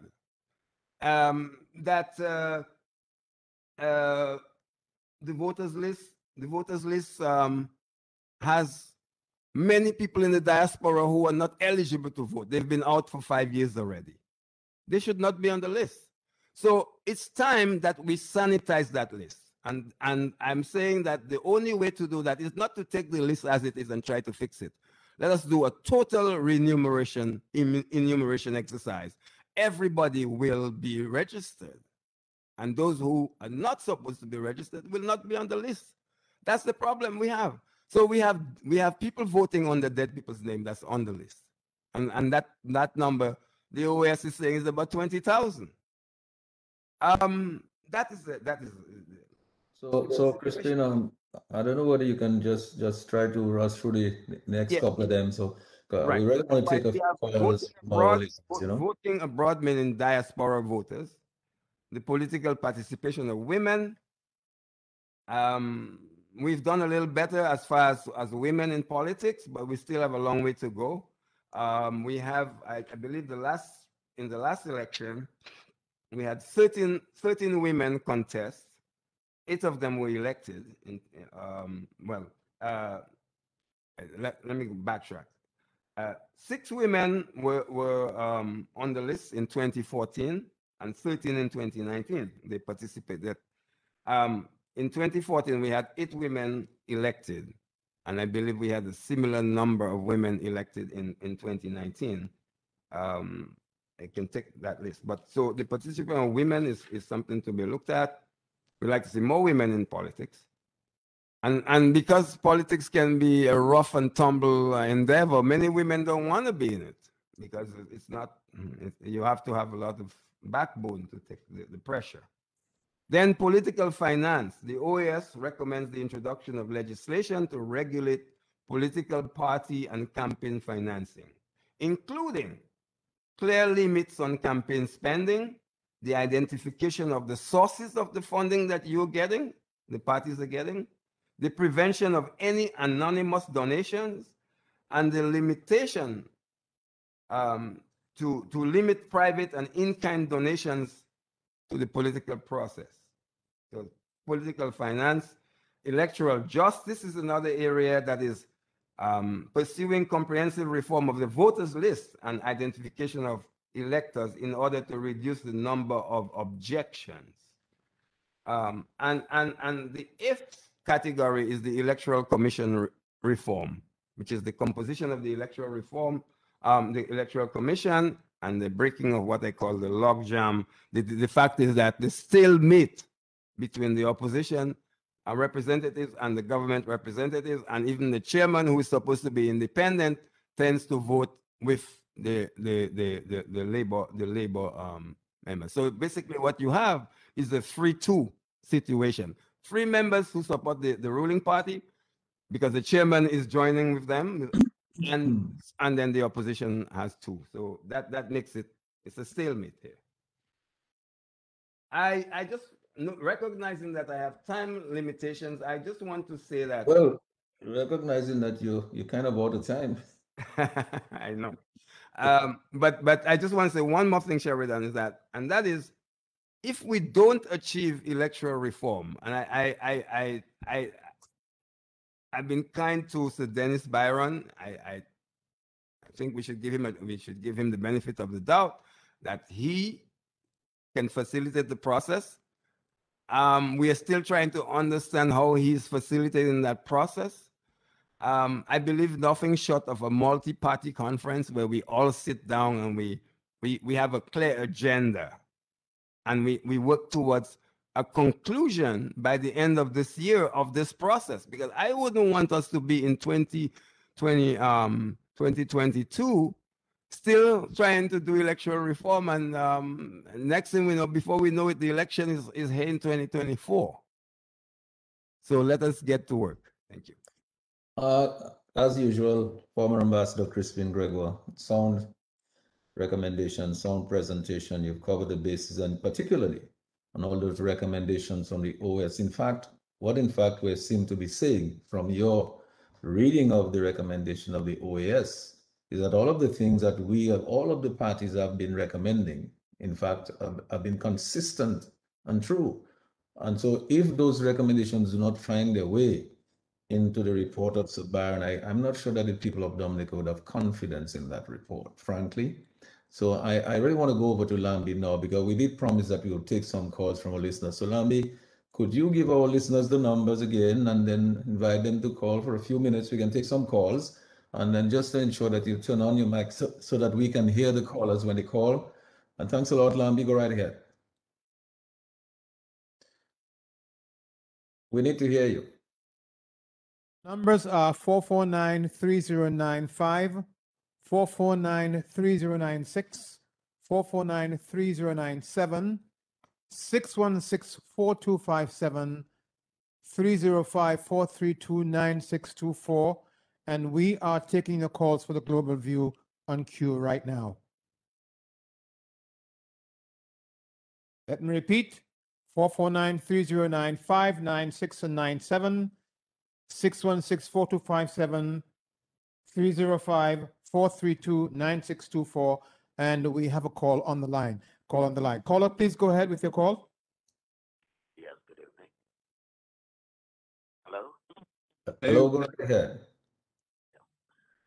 I just wanted to highlight one point, and that point is based on what I understood is that Mr. Byron was given by the Prime Minister point of reference as it relates to having the diaspora vote um, either overseas or have all people go overseas to register that. And that is a point based on this discussion tonight that is would be totally against our constitution and against our laws. Uh, I'd like you to address that in simple way. Thank you. Yes, that is a very good point. And I think um, Dion um, started covering that. I think, and, and Crispin mentioned it, I mean, uh, and also um, Anthony Leblanc, I mean, really, it's a bad idea to try to go overseas and look at clusters of people that you select that you want to register. It makes no sense. You're not going to get in a universal registration that way. It's better to register everybody at home. Lambi, if you have any calls, we can take them. Otherwise, I'd really like to go over to Dr. Irving Andre because Dr. Andre, um, so much has come out already, and so much came out before, and so much came out at that conference that took place with the Business Forum and, and Sir Byron and the members of the commission. I think what we really want to emphasize is that that report from Mr. Byron to the commission should really should really contain the recommendations that the people are making. It really should reflect the will of the people, not the, the what was on a, a, survey that anybody else could have come under, but really should reflect the will of the people. Okay, Andre, let me get some of your comments on that, please, if you can. But again, I mean, look at it from a logical perspective. We have had the benefit of reports from qualified people who've had accumulated vast experience in the field of electoral reform. They have given us a roadmap as to what true and genuine electoral reform involves. We know the parameters of true and genuine electoral reform. We know the components, campaign finance reform, clean up the electoral list, enforcing your laws, voters identification card, we know all these things. And the fundamental question is simple. After having three or four reports which reiterate these fundamental foundations of pre and electoral reform, what is the efficacy? What is the need? What is the significance of hiring someone, paying him more money than was required to clean the voters list or to get electoral identification card, what is the significance of doing so? For one purpose, to produce a report which is skewed to reflect the wishes of the directorate. There's no ifs, ands about it. Benefit of doubt doesn't come in my respectful view. Because if the government wanted to know what was electoral reform, then what more information did it need? What, what, is it? You want a, to, a, a script to be handed down on tablets of stone from the hand of the Father? No. The whole purpose, according to as your caller rightly identified, is to get an eminent jurist, someone with some status in the Caribbean, to produce a report which sanctifies the whole business of overseas voters. And that is the beginning of the end, because you know and everybody knows, based on past, that those who will be selected to vote abroad, it will be done on a discriminatory basis. We know that as a fact. Recall what Rosie Douglas proposed.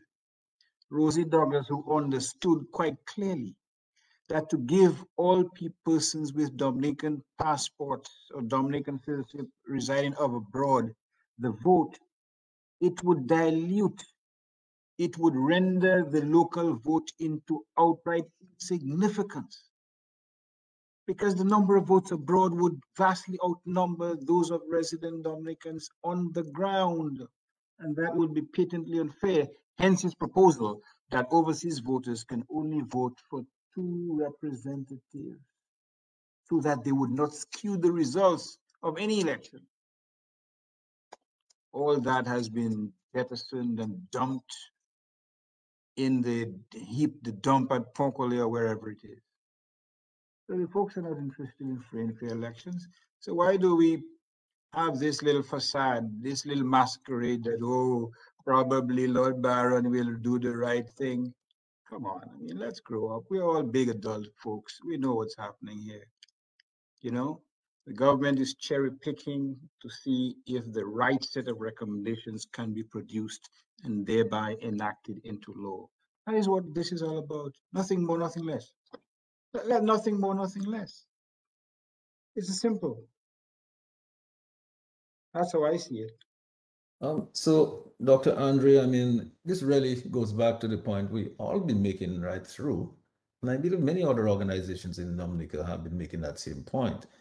If this report does not reflect the will of the people, which is what I think you're saying it will not, saying because of the way the appointment took place, and the terms that are given, you think, and it's obvious that it is quite clear, that I do not think, if we go back to how this thing came about in the first place, based on that email, which says that these guys want to do genuine electoral reform, which will mess up your winning legacy. Any contract to anybody now to do something cannot result in that same thing, otherwise they will reject it again. And why pay how much money to just get something you're going to reject? So the, the fact of the matter is that this the directorate does not want any report with recommendations that is going to affect their winning legacy. And as the caller said, and you rightly pointed out, Dr. Andre, these overseas votes is where they see the winning legacy lies. And let me make a bold prediction. If this report from the senior jurist follows in the tradition of all the other reports which were dumped. This time, they will look for John the Baptist to write a report on electoral reform. It's as simple as that. Let's be honest, folks. Let's cut to the chase. That's what's happening here. They're cherry picking to get the right result to enact as being the, a reflection of the will of the Dominican people. That's all there is to it. Uh, no, not really. We're just going to all come in now and just comment because I mean, I want to go with you, but we can always just jump in at any time and comment now because we're not going to, because the time is running out on us.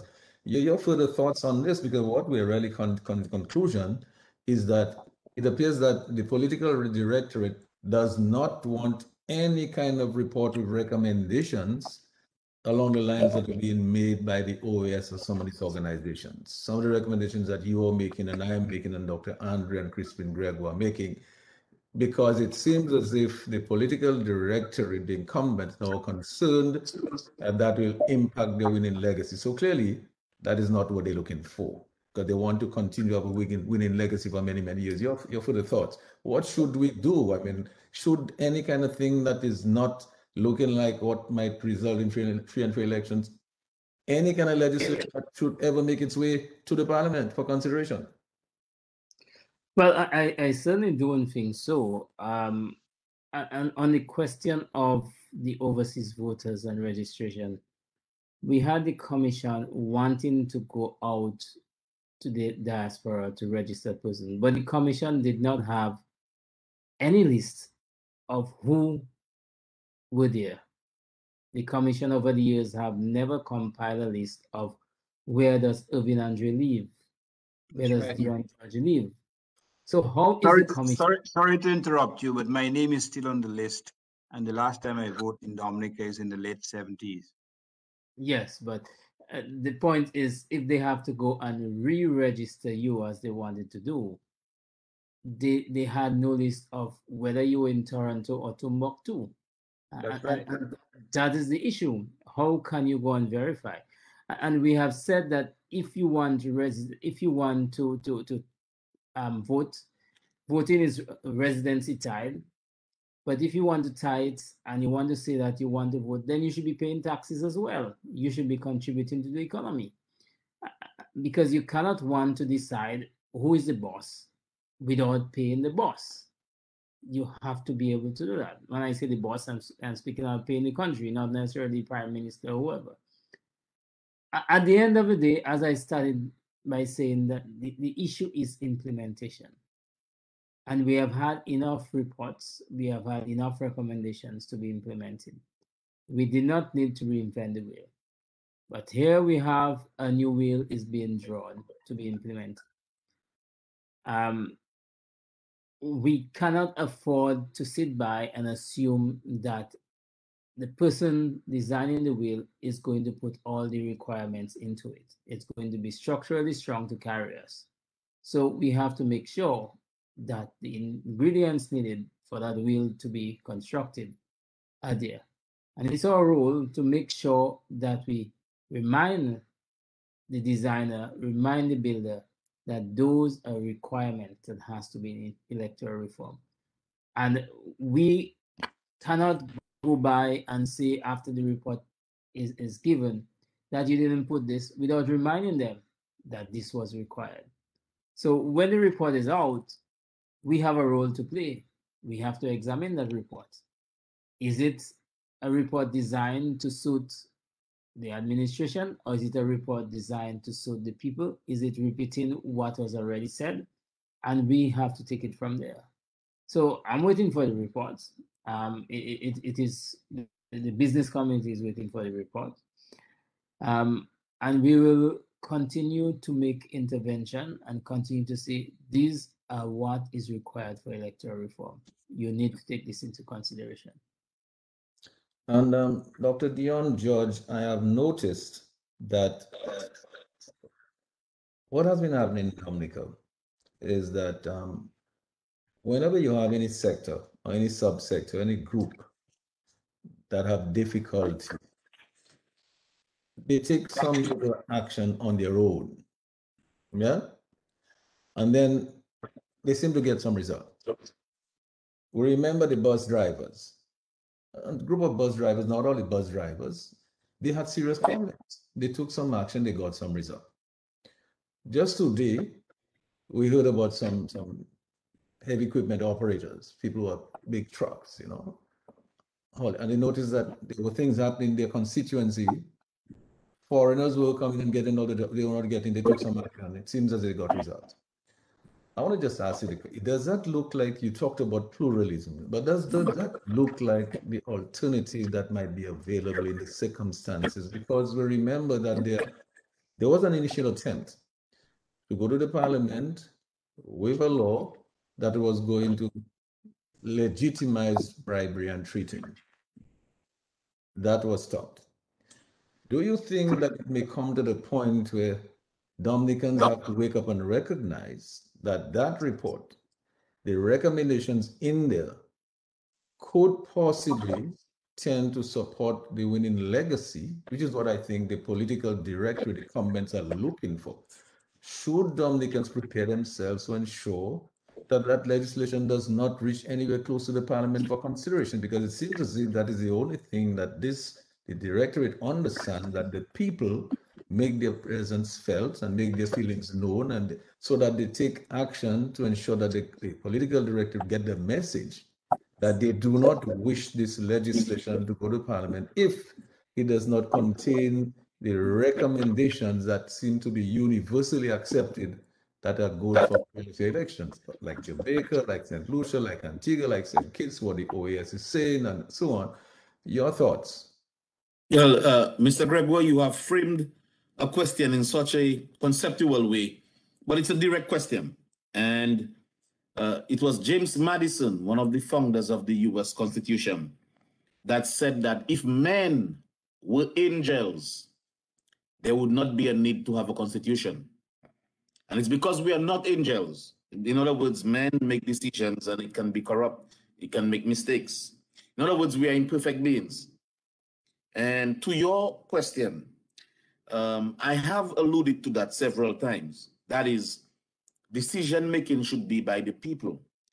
And the examples that you use today with the truckers, with the bus drivers, and apparently the social movement theory seem to have arrived in Dominica. Well, and, the, and the, the, the teachers and students at the college as well. Exactly. And I would hit that is how Dominica would have come that for people to get results, they would have to take to the streets because there are other political scientists who have give other ways in which things can work, as in what we're trying to do here, to have discussions, to get recommendations, and to actually put in the regulations that would make a fair playing field.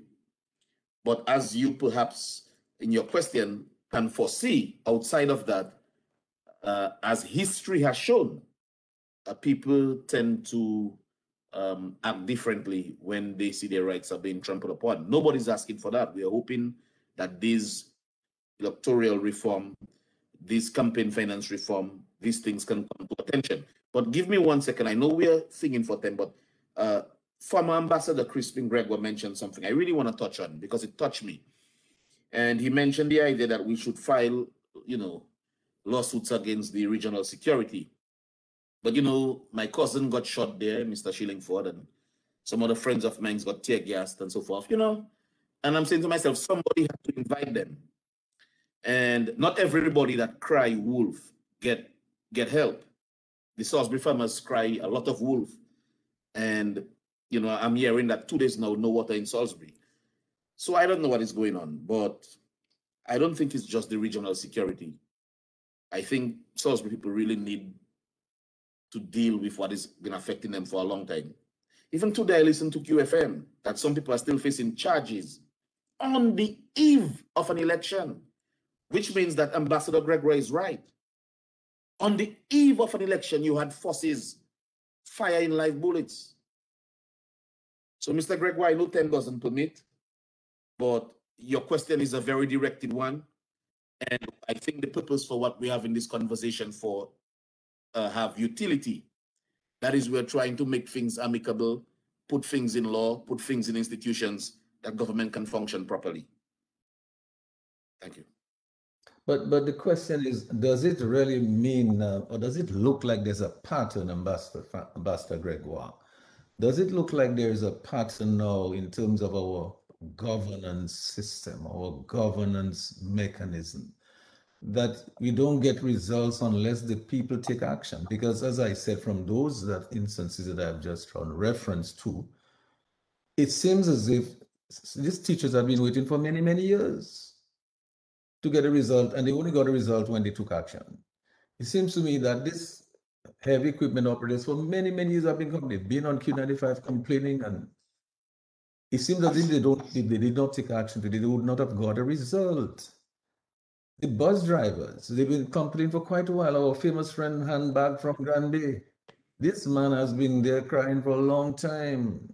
And then all of a sudden, they got a result because they took some action. Does it look like, Ambassador Gregoire, that this is becoming the almost the only way for the people of Dominica to get results when they are aggrieved in that kind of way? And in this case, we're talking about results, recommendations are being given by everybody. Everybody is giving the same recommend, all the institutions that matter, but yet these recommendations are not being, instead, a legal luminary is given, a, I would say, a, I don't know what word Dr. Andre would use to describe the contract, but it's uh, out. What would you say, Dr. Andre, if you can put your mic on? A prince's ransom. A prince's ransom. That's what you would say. It seems to me this the legal luminary, of course, you know, do not doubt his his capabilities, but it seemed to me he's been extremely well paid for things that everybody has already recommended. And if that report is not going to reflect the people's will, then the legislation that is going to be proposed to go to the parliament may not necessarily be acceptable to the people if it is not going to result in free and fair elections. So, Ambassador Gregoire, your thoughts on does it look like that's a new system of governance where the people may have to go back to what they've done in many, many years ago in order to, to have their will? We need to, yeah. Governments usually act when only when the people, if, if the people are not getting what the benefits from governance that that they expect, then they are going to protest. I mean, that's just in my. I'm 65. I'm 64 years old. In my life, I've been an activist my whole life. I've always been in protest, and I'm saying that's the only that's the only way you get the other side to yield you protest. So I, I, I think that they, there's a, a, certain character to the governance of this administration um, where they, they, they don't have any political will to seeing a change of government. They're afraid actually of a change of government. In fact, one of the interesting things about this government is that almost all the people in there have never been in opposition and they haven't tasted opposition people like me were in opposition for 20 years. And, um, you know, I, I actually le- learned to be comfortable in opposition. And when I did support the this current ruling party, um, it, it, wasn't for a long time because you know I, I, I saw a lot of contradictions in what they were doing, and I didn't want to be associated. So, and people still say that I'm a Labourite. Yes, I was a founding member of the Labour Party, but um, I am part of the left wing, and the left wing has been pushed to the sidelines. We we only Labourites in name, not Labourites in deed. Um, but more than that, what I see is that there's not much of a political will by the government to do electoral reform because they might be afraid of facing the electorate in a free and fair election. I don't think they would win. I don't think the Labour Party can win in a fair process after 20 years in office. People are tired, they're fatigued. They've seen a lot of scandals. They've seen all kinds of things. Look at the look at the issue we have right now. An Indian fugitive was allowed to come into our country. Why? We don't know. So what I'm saying is that the, the political will to be accountable, and now here we're talking about electoral governance, is not there. And you, you listen to the operatives on the other radio station, what they're saying. You know, sometimes I just have to laugh because it doesn't make any sense. They tend to forget that they've been in office for 20 years. And when you're in office for so long, you you you begin to put you wear darkers, you know, you wear dark glasses. You can't see the you can't see the reality of things around you. And that's what has happened to many of these people who are in government. They've never spent one day in opposition. They got into government because people like myself did the work for them. And once that work was done, they kicked us out. But, but let me let me just say this. I can just add this, and anybody can jump in on this before we wind up.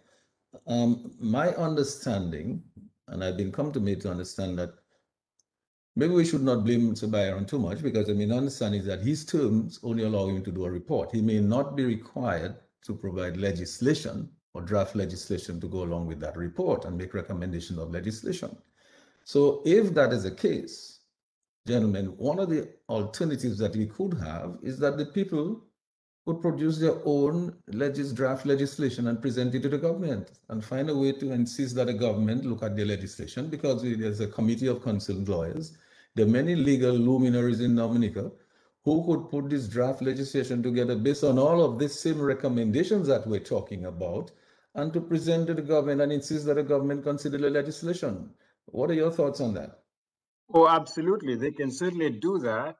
And look, so Byron only has to look at his island of birth, St. Kitts, to see the legislation they enacted in 2019 or 2020. I think it's 2019.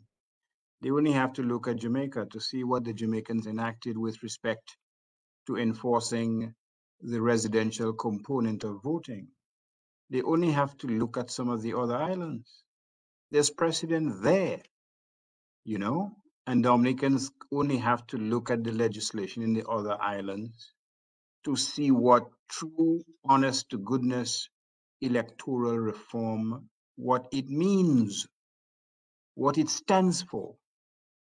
Because the underlying significance of free and fair elections to ensure that every vote of Dominicans resident in Dominica every vote counts is to ensure that it is only those eligible voters who meet those residential components or criteria participate in these elections. Otherwise, the whole thing is a sham, to be quite frank with you.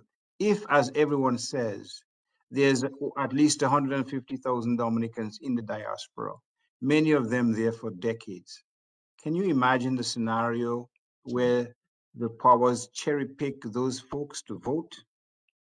The significance or total lack of significance of the local vote of people who live in Dominica, people who have to work, people who have to live under those restrictions in Dominica that they're now experiencing.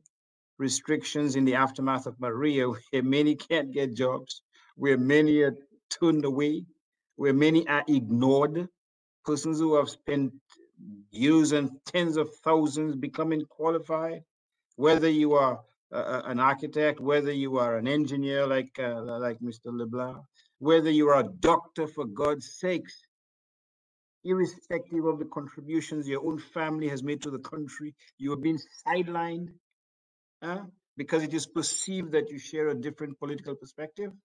It's ridiculous, to be quite frank with you. So you you see that is why um, I wanted us to just take a look at this because I have I have, I feel that I would like to strongly recommend that our local attorneys, and we have lawyers outside of Dominica as well who could help. I believe we could look at all of those recommendations that are being made by us, by the OAS, by all these organizations, by the local groups, all these recommendations that are being made to Dennis Byron and the Electoral Commission. I believe that certainly a group of lawyers in Dominican outside can take the initiative, see what we can all help to see what assistance we can get for them to do that exercise. Do that exercise, put together a package of legislation that reflects all of those recommendations, desirable recommendations, and all of the things that we're talking about that other people have talked about for a very long time, for years now, the OAS put the legislation together and, and let the people, that would be the people's recommendations for the legislation, and let the people take it to their government and ask their government to consider that legislation and to enact it into law. And I think the people should insist that the government look at those recommendations. I don't know what are your thoughts on that, gentlemen.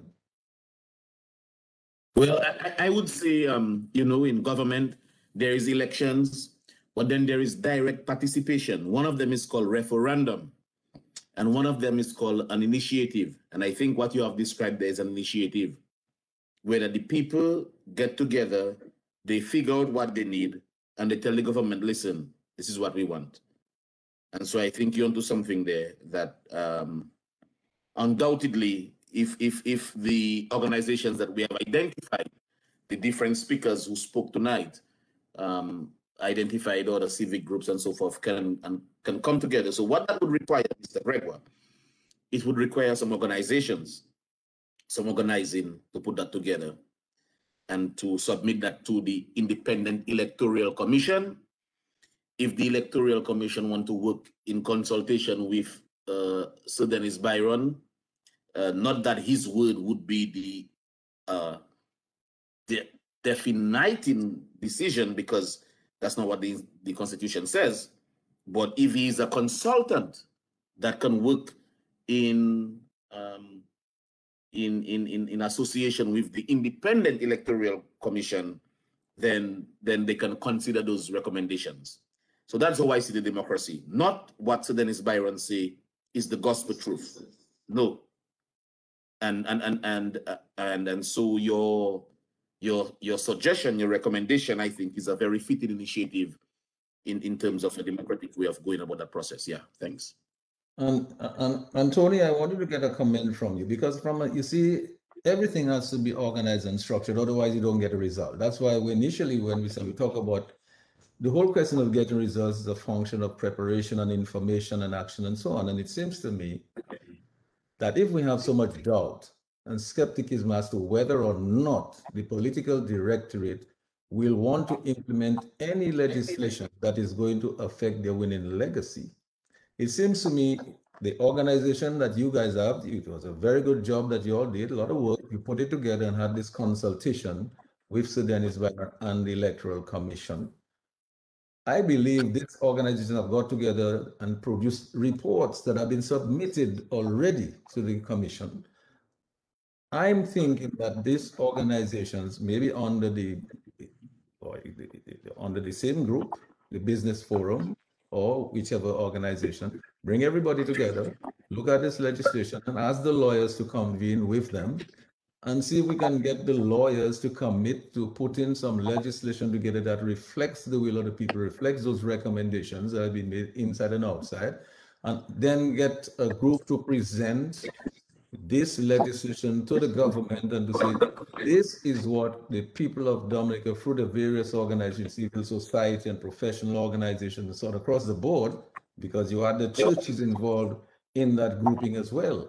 This is the draft legislation that is proposed, and we ask you to consider that and to consider implementing it into law so that we can have the reforms in not only electoral reform, but campaign finance reforms and so on, as been discussed here and elsewhere so that Dominicans can have free and fair elections and ask the government to look at that. And I think the people should insist, just like the bus drivers, just like the teachers at the it, just like the heavy equipment operators, that the government should look at their recommendations and do something about it. Your thoughts, Tony?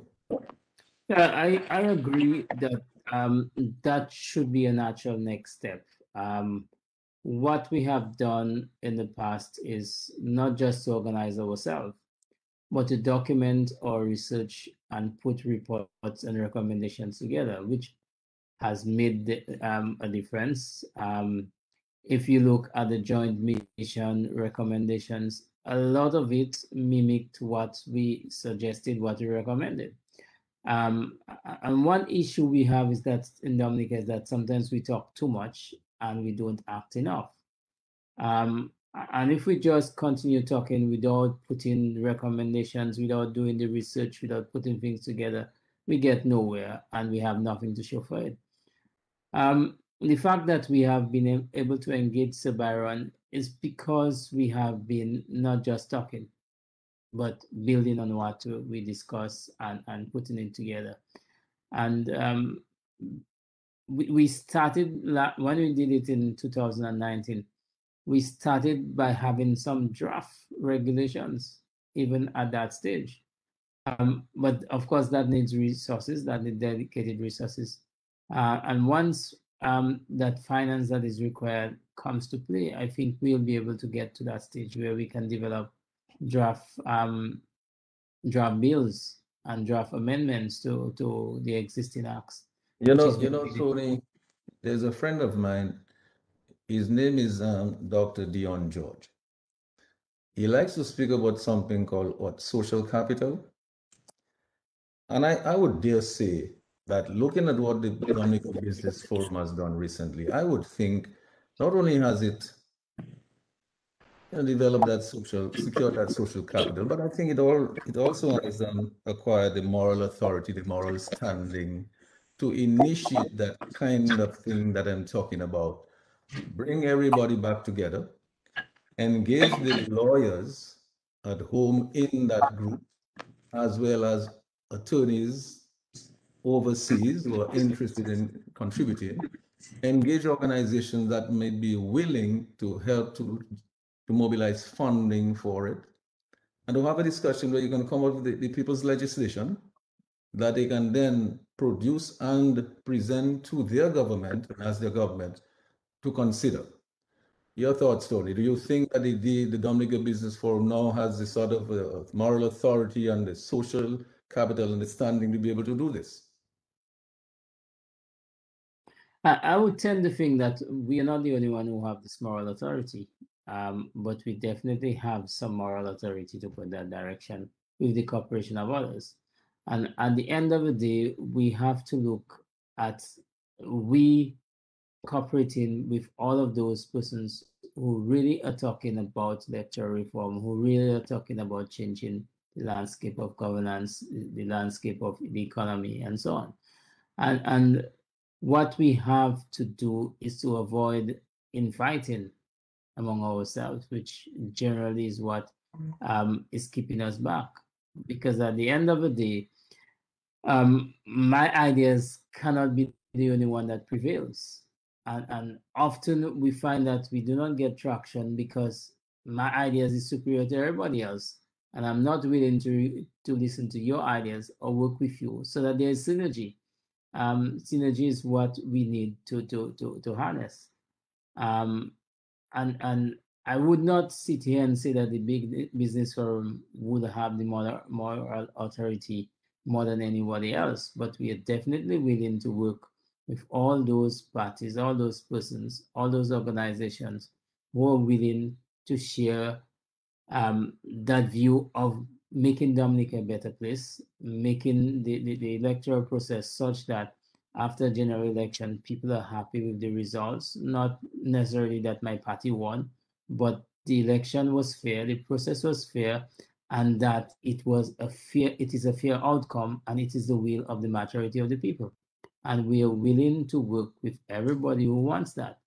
But we have to be genuine about working, and we have to be able to separate the sheep from the goats and all of that. Take the Wesley scenario um, today. It is reported that possibly this protest was organized not by people who are against what is happening, but by persons who are trying to make it appear that there is resistance so that somebody can come out as a savior. We have to be careful about those things too. Uh, and, and, and we could say the same thing for, for Byron's report. But should we sit down on the sideline? No, we should not. We should make sure that we are there because the world is turned by the people who appear and the persons who make their presence felt we in the business forum make sure our presence was felt with, with Sir Byron and that we intend to influence how he goes. And if he doesn't come out with a fair report, something that's credible, something that follows what has been said over and over, something that's realistic and towards appropriate electoral reform, we will continue to take it on.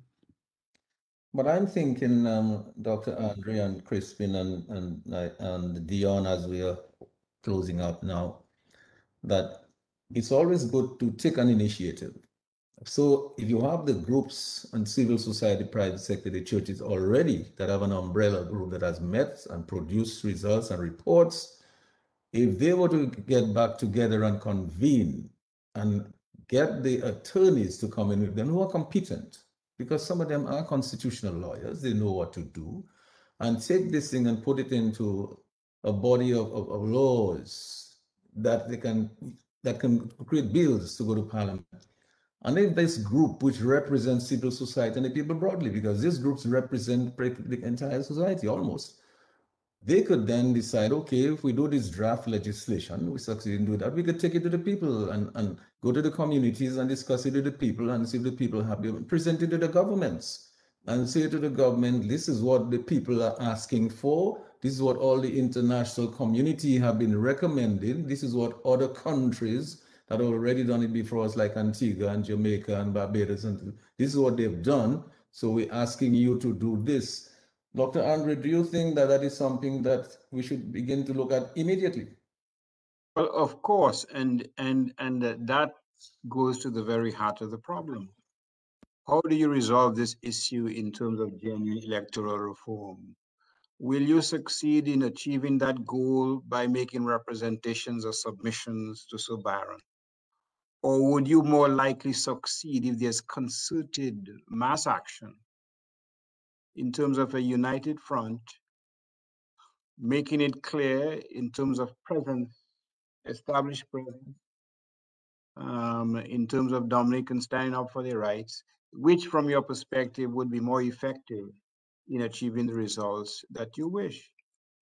It is not Sir Byron who is the problem. In fact, he's not.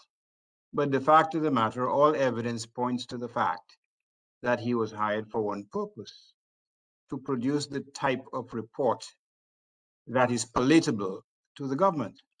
That's why the other reports were rejected as if they were yesterday's newspaper. That is the reality.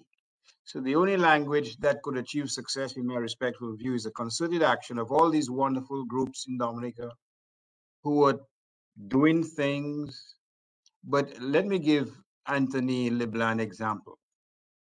Years ago, when they were building the Roseau Bridge, um, he was a very powerful patriotic voice in terms of warning the, the government about an injunction to stop it. Did they listen? They didn't. They went ahead. The experts told you that despite the protestations or the avowals, not the avowals, Mm. the, the, the, the, comments that it cost 18 million dollars, it cost closer to 10 or 11. Where's the rest of the money? Where did it go? But my point is, they didn't respond because the only time they respond is when somebody take to the street and block this road here or do this there and so on and so forth. It's the only language, it's the language of democracy that uh, authorities typically respond to.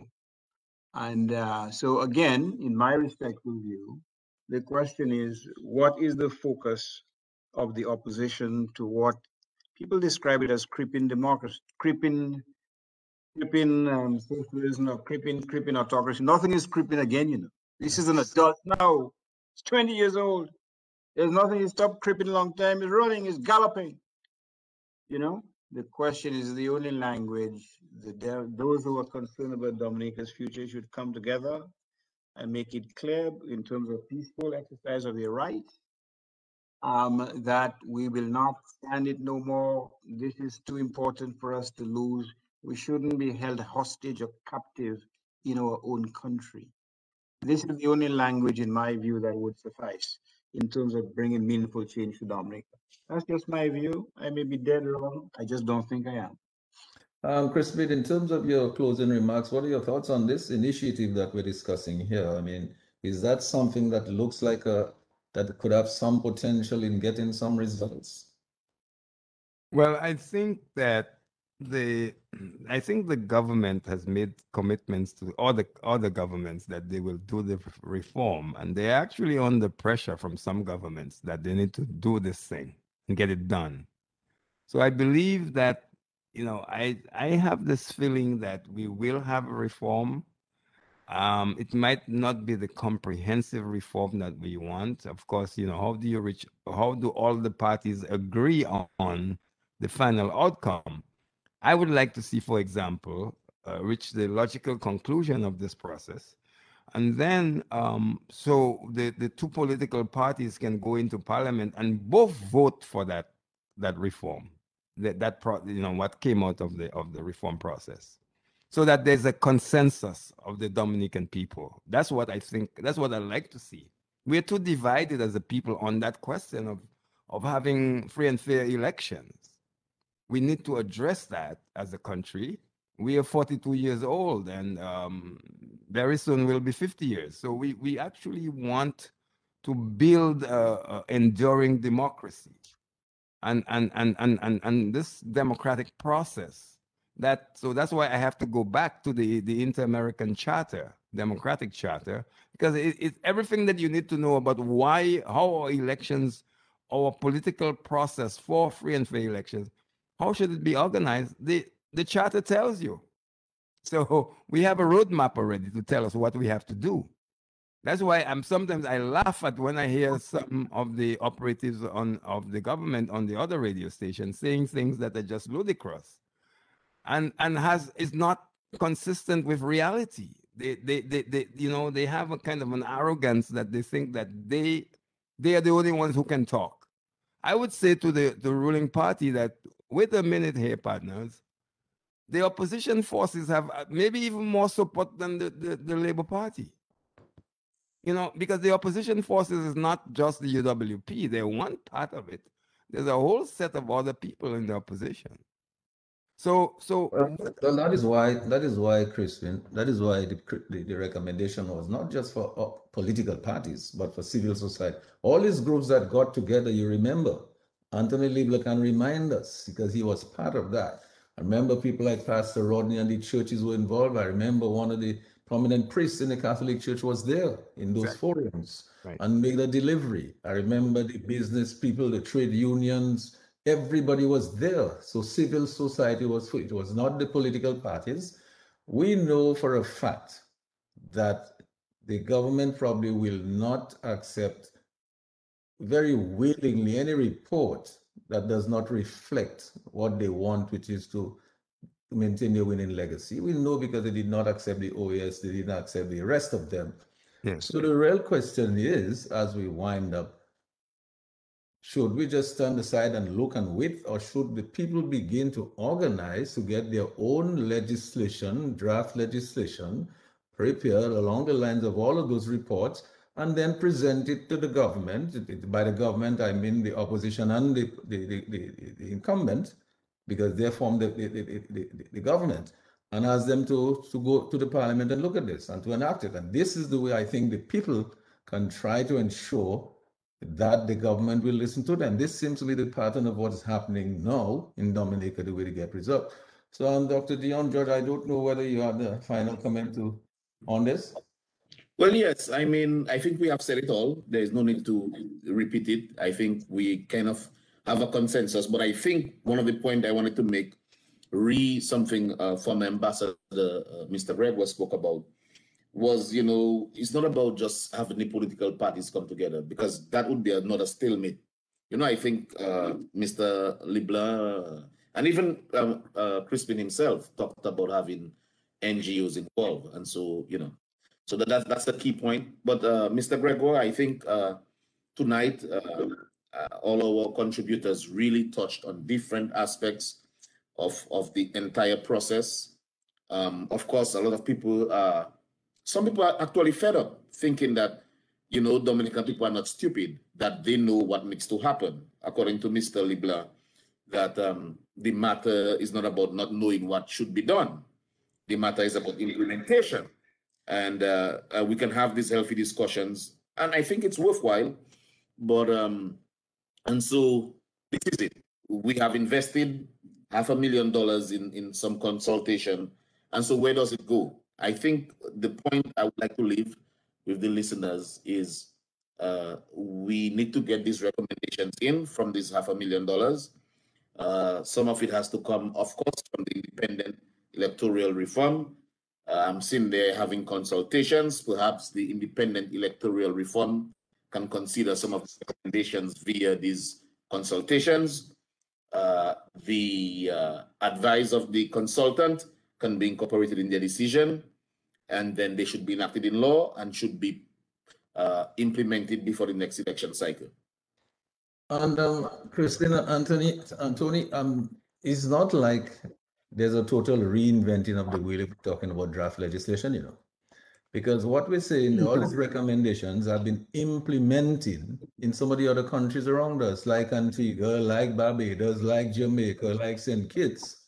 They've already been implemented. We can just take a look at the draft legislation that exists in some of those countries and our legal luminaries at home and abroad can put together something that reflects the, all of those recommendations that people have been making for Dominica. It's not rocket science. How much does it take to do that? Can that be done as a next step? Because it seems to me that if you don't have something on the table, to discuss, you're only going to look at what the one side is putting on the table. So it seems to me the people put their recommendation of draft legislation, by all means pull something from all the other countries, and there's some constitutional lawyers around us who could do that in a jiffy. How long did it take Antigua and Justin Simon to put it together? Three months? Antonio, your, your final word on this? I agree with you, and um, I, I don't necessarily believe we have to wait for the recommendations of the report from Sir Byron to move on. We we should not do that. We have had several recommendations already, and it does not also mean that Sir Byron's report is going to displace all the other reports that have been and recommendations that have been made. It is another one that's going to be added, and it have to be looked at as adding to the puzzle or adding to the completion of of of that um, puzzle piece. Now, um, I agree that there are different ways that we can um, deal with this issue, and the moment we start thinking that only this method will give us solution, we're going the wrong road. We have to be tolerant of each other, and we have to be prepared to work with each other, and also to see that the other person's position may have value because I've often said there's not one way to skin a cat. You have to add each razor and each knife and each cutlass in the place to skin the cat. At the end of the day, we want to skin the cat. Let us all work together to get that cat skinned. Yeah, but Crispin, before I go to Dr. Andre for his closing remarks, I just wanted to put this again that, you know, really and truly, isn't this an opportunity for us in Dominica, really? Now that we have the benefit of seeing all the legislation that already exists in those countries around us that have done it, we have all this legislation that we can review. Can't we look at our recommended and then put together the best legislation that exists for electoral reform and modernizing our election making framework in the region? Don't we have an opportunity now to do that by taking that initiative, and engaging our lawyers and putting something together and say it to the government, this because it's coming from all of the people. This is what is looked at because it is reflected in the, what has worked in Jamaica, what has worked in St. Kitts, what has worked in Antigua and Barbados and St. Lucia. We are recommending that this is what we would like to see happen. Crispin, your thoughts on that? Well, not only that, the the people um, the people want um, an outcome. They they I, I think in the in the average Dominican's mindset that they this thing called electoral reform, they they they're struggling with it. They want to see it reach its logical conclusion. It's been taking a long time. I mean, the first time we talked about electoral reform in this country was going back to 2006. It's it's 15 years already, and nothing has happened. And and I was quite dismayed I think that the, the Joint Commission, which was made up of the Commonwealth, um, CARICOM, and the OAS, I think they, they came up with, uh, it was a limited reform process, not, not the comprehensive full thing that we want, but they, they, there was a, a good compromise. And I thought that the government not accepting that then to me was an error. Of course, one has to put yourself in the shoes of the politicians and they're saying, okay, but if we implement this reform, then maybe we are going to be kicked out at the next election. That's in their mindset. And I think, I mean, when I look at the, the reality in Dominica today, uh, the fact that we've not had a change of government in 20 years means that there is a, huge amount of fatigue of the electorate vis-a-vis the, the, the, the, um, the government, the ruling party. Now, of course, the ruling party's supporters would be probably um, they have a significant number still supporting them, but there there is a swing vote in the Labour Party that could shift in an election. So you know the thing is that if we have a free and fair election process, I think we could have a good outcome. The question is, we have to accept the result of a fair process. That's all I say. So, so Dr. Andre, as you make your closing remarks, you know the reason is because it's not really, it's not really beauty this time, it's age. Um, really, the thing is, one of the things that, that struck me, and I go back and reflect on some of the programs we had earlier, and I remember one program in particular where we had the Attorney General with us, and it was instructive. And every time Crispin talks about, you know, the people are grappling with the notion of what is electoral reform. But there was no grappling when the Attorney General with us. He was very focused on the legislation. He was very clear to say, okay, that is what had been looked at, but for now, but we're not doing it again. These fellows came to the, the, the parliament and tried to prevent this and they filed this and that. He was very focused on that. So I'm saying if we have draft legislation that reflects exactly the will of the people, there is something that we can talk to the people about. You can go to the communities and discuss with people. So there is no figuring out what it's it's about the legislation is going to bring about free and fair elections. Your thoughts, um, Dr. Andre? You want to unmute your mic, huh? Complimenting the panelists, I think they've all done excellent jobs. Uh, these are folk, uh, they are not Johnny come latelys. These are folks who've been the front line of activism and the fight for true democracy. Um, but again, it seems to me that Dominica is at that critical juncture where we have to move beyond submissions and we have to ask ourselves, what are you doing to ensure your own salvation as a democratic nation? Um, it seems to me that what should be done, and that's just one view, hopefully not crying in the wilderness, where probably on a two-page document, borrowing pieces of legislation or provisions in legislation enacted in the Eastern Caribbean, St. Kitts, Antigua, Trinidad and Tobago, Jamaica, which addresses each of those essential components of free and fair elections. One, stated unequivocally the residential component, which is at the bedrock of, of, of free and fair elections in Dominica emphasizing the need for campaign reforms, imposing limits on, on, on, on, on expenditure, uh, indicating in clear unequivocal terms who can vote, indicating clearly the need for electoral identification cards as in other islands. Setting that out, we have to use the media, we have to use social media, launching a worldwide petition to be signed and on an appointed date, all the forces of democracy convene and present it, hundreds, hopefully thousands, present it to the legislature in terms of what should be taking place to ensure and preserve Dominica's democracy. It seems to me that a combination of that type of action with physical action in terms of asserting one's desire to preserve Dominica's democracy um, with worldwide attention, it seems to me that would be a giant step towards achieving that goal, in my respectful view. Um, somebody said it is bigger than Lord Byron. I agree totally. In fact, um, uh, the focus should not be on Lord Byron, in my respectful view. It should be what will the representative and constituent elements of Dominica's population, what they are prepared to do to achieve salvation, not on the road to Damascus, planned, concerted, consolidated action which seek to bring the attention not only of the government, but the world, what Dominicans are seeking, and the fact that Dominica lags at the bottom in terms of free and fair elections in the Eastern Caribbean. We have to take the bull by the horns. We can't leave it to Sir Byron. We can't speculate as to what he's going to say or not to say.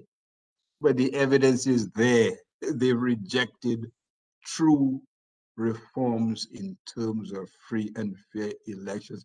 What do you expect? Thank you. And um, Dr. Andre, um, as I thank everybody, I just want to admit that when you first started making your closing remarks, then you started pointing out some items one, two, three, and four. I, I would swear that sounded like the beginnings of the terms of reference for this. Oh, absolutely, absolutely. I think that should be done. A mani well, it doesn't have to be manifesto. A thesis, to use Bernard Wilson's uh, phrase, then thesis. Use a, a, a, thesis in terms of where what Dominica won in terms of free and fair election. You can just cherry pick sections from from from uh, electoral laws in various islands addressing each of the central components. You derive in 2021, I still use my typewriter. There are persons who are much more technical, technologically advanced than I.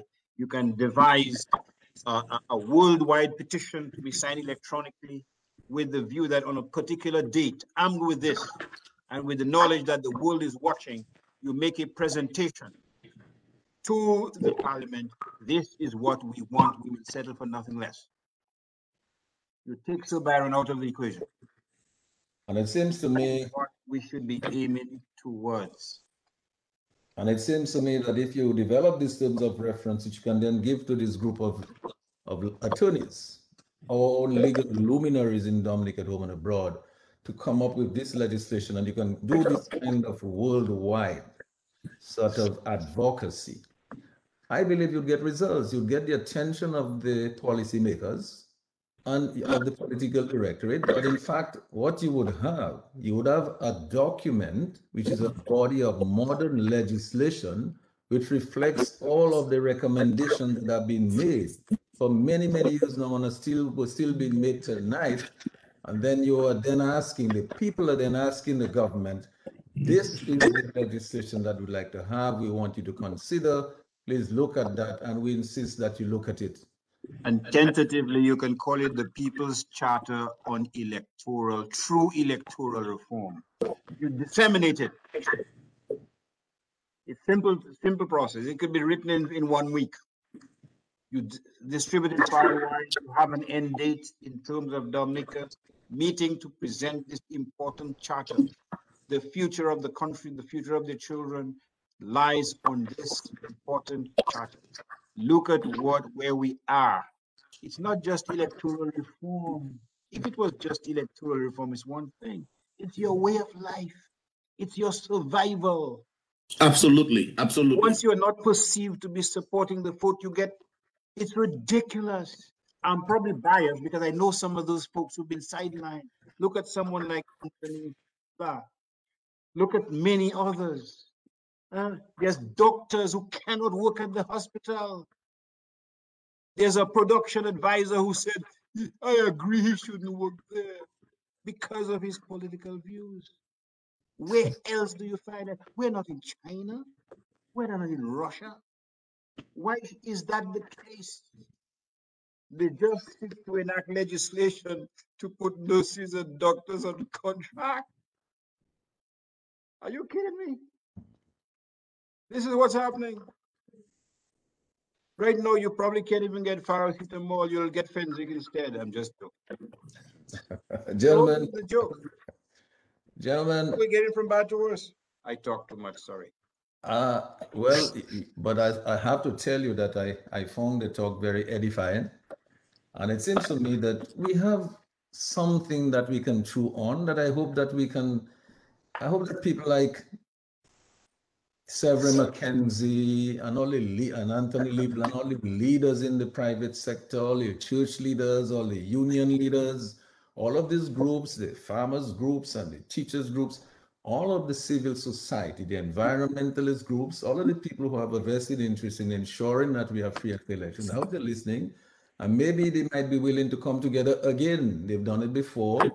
And to look at a, a, some, uh, this suggestion as to the way to go forward to try to engage lawyers to put together something that they can then say, okay, we have something. And not depend, because if, as we say, I did, we cannot be making this about Sir Byron because you understand that he may not even have been engaged to provide draft legislation. So it might be that we this this um, draft legislation may have to engage with the Attorney General who may have his own draft legislation. And so it means therefore that we may be looking at two bodies of lit and the government would have two to consider. At least they could not say they don't have an alternative to consider. And maybe something could come out of this. Gentlemen, I just want to thank everybody. I think we had a great discussion today. I think it was very informative, very productive. Much of the things that we discussed and recommended were done before. And I believe it was very uh, heartening and enlightening to see that we could find, wait, wait a minute, there has to be a solution to this. We can't just keep making recommendations falling on deaf ears and things going on shelves taking dust. Why not the people take their own initiative? do something. We have leaders in the private sector, in the in all the subsectors in Dominica, who have shown that they have the skills and the will to put something together.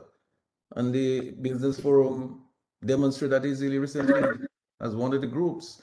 Gentlemen, I want to leave it with you and Anthony Leblanc. I know that you will take it back to your colleagues to look at some of the recommendations that we're making here. Take an initiative, bring everybody together, all everybody, all the groups, all the sectors. Sit again as you've done before.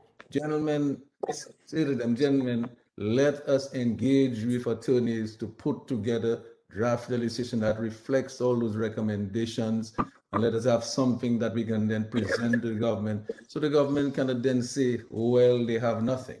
They produce nothing. So you have legislation. The attorney general then we can bring him on our program here if you'd like to come. And we can discuss his legislation that he may have versus what the people may be recommending. And we can have a debate on this. But certainly uh, anthony leblanc we're going to leave it to you to take that back to your colleagues and the people in Dominica to see if something can be done. I want to thank all our listeners, all of us, our panelists who have been really great and wonderful here tonight. All our listeners, we couldn't take your call. We only managed to take one. We want to thank all the, as Crispin likes to say, the friends of Dominica. And then, of course, all the persons in every nook and cranny everywhere who have been listening to us tonight. We want to thank you for being with us. We especially want to thank Lambie and Sherwin for keeping us on the air and um, you know and, and and controlling the things on the um and directing the traffic on the at the Q95. And so, gentlemen, it's left of me to say thank you so much. And uh, everybody had a, a, great Father's Day. I had a, a very quiet one. And uh, let's all look forward to better things coming out of this. Let's not just wait exclusively on Sir Dennis Byron for everything. He can't be everything to everybody. All right, so take an initiative, gentlemen. So Crispin, Tony, Dion, Irving, Lambie, Sherwin, I just want to say everybody, good night, everybody. Good night. Good night to the panelists. All Good night right, to the Mr. listeners. Gregoire, thank you very much. Have a Thank good you night. very much, Mr. Gregoire, as usual. everybody else, uh, Tony, Good night, dear. Good night, everybody. All right, all right, Lambi, take it easy. Lambie, Lambie, take Sherwin. care. All right, Yeah. Suffer- talk to you later. Yeah. Okay. Yes, I. All Okay, right. gentlemen.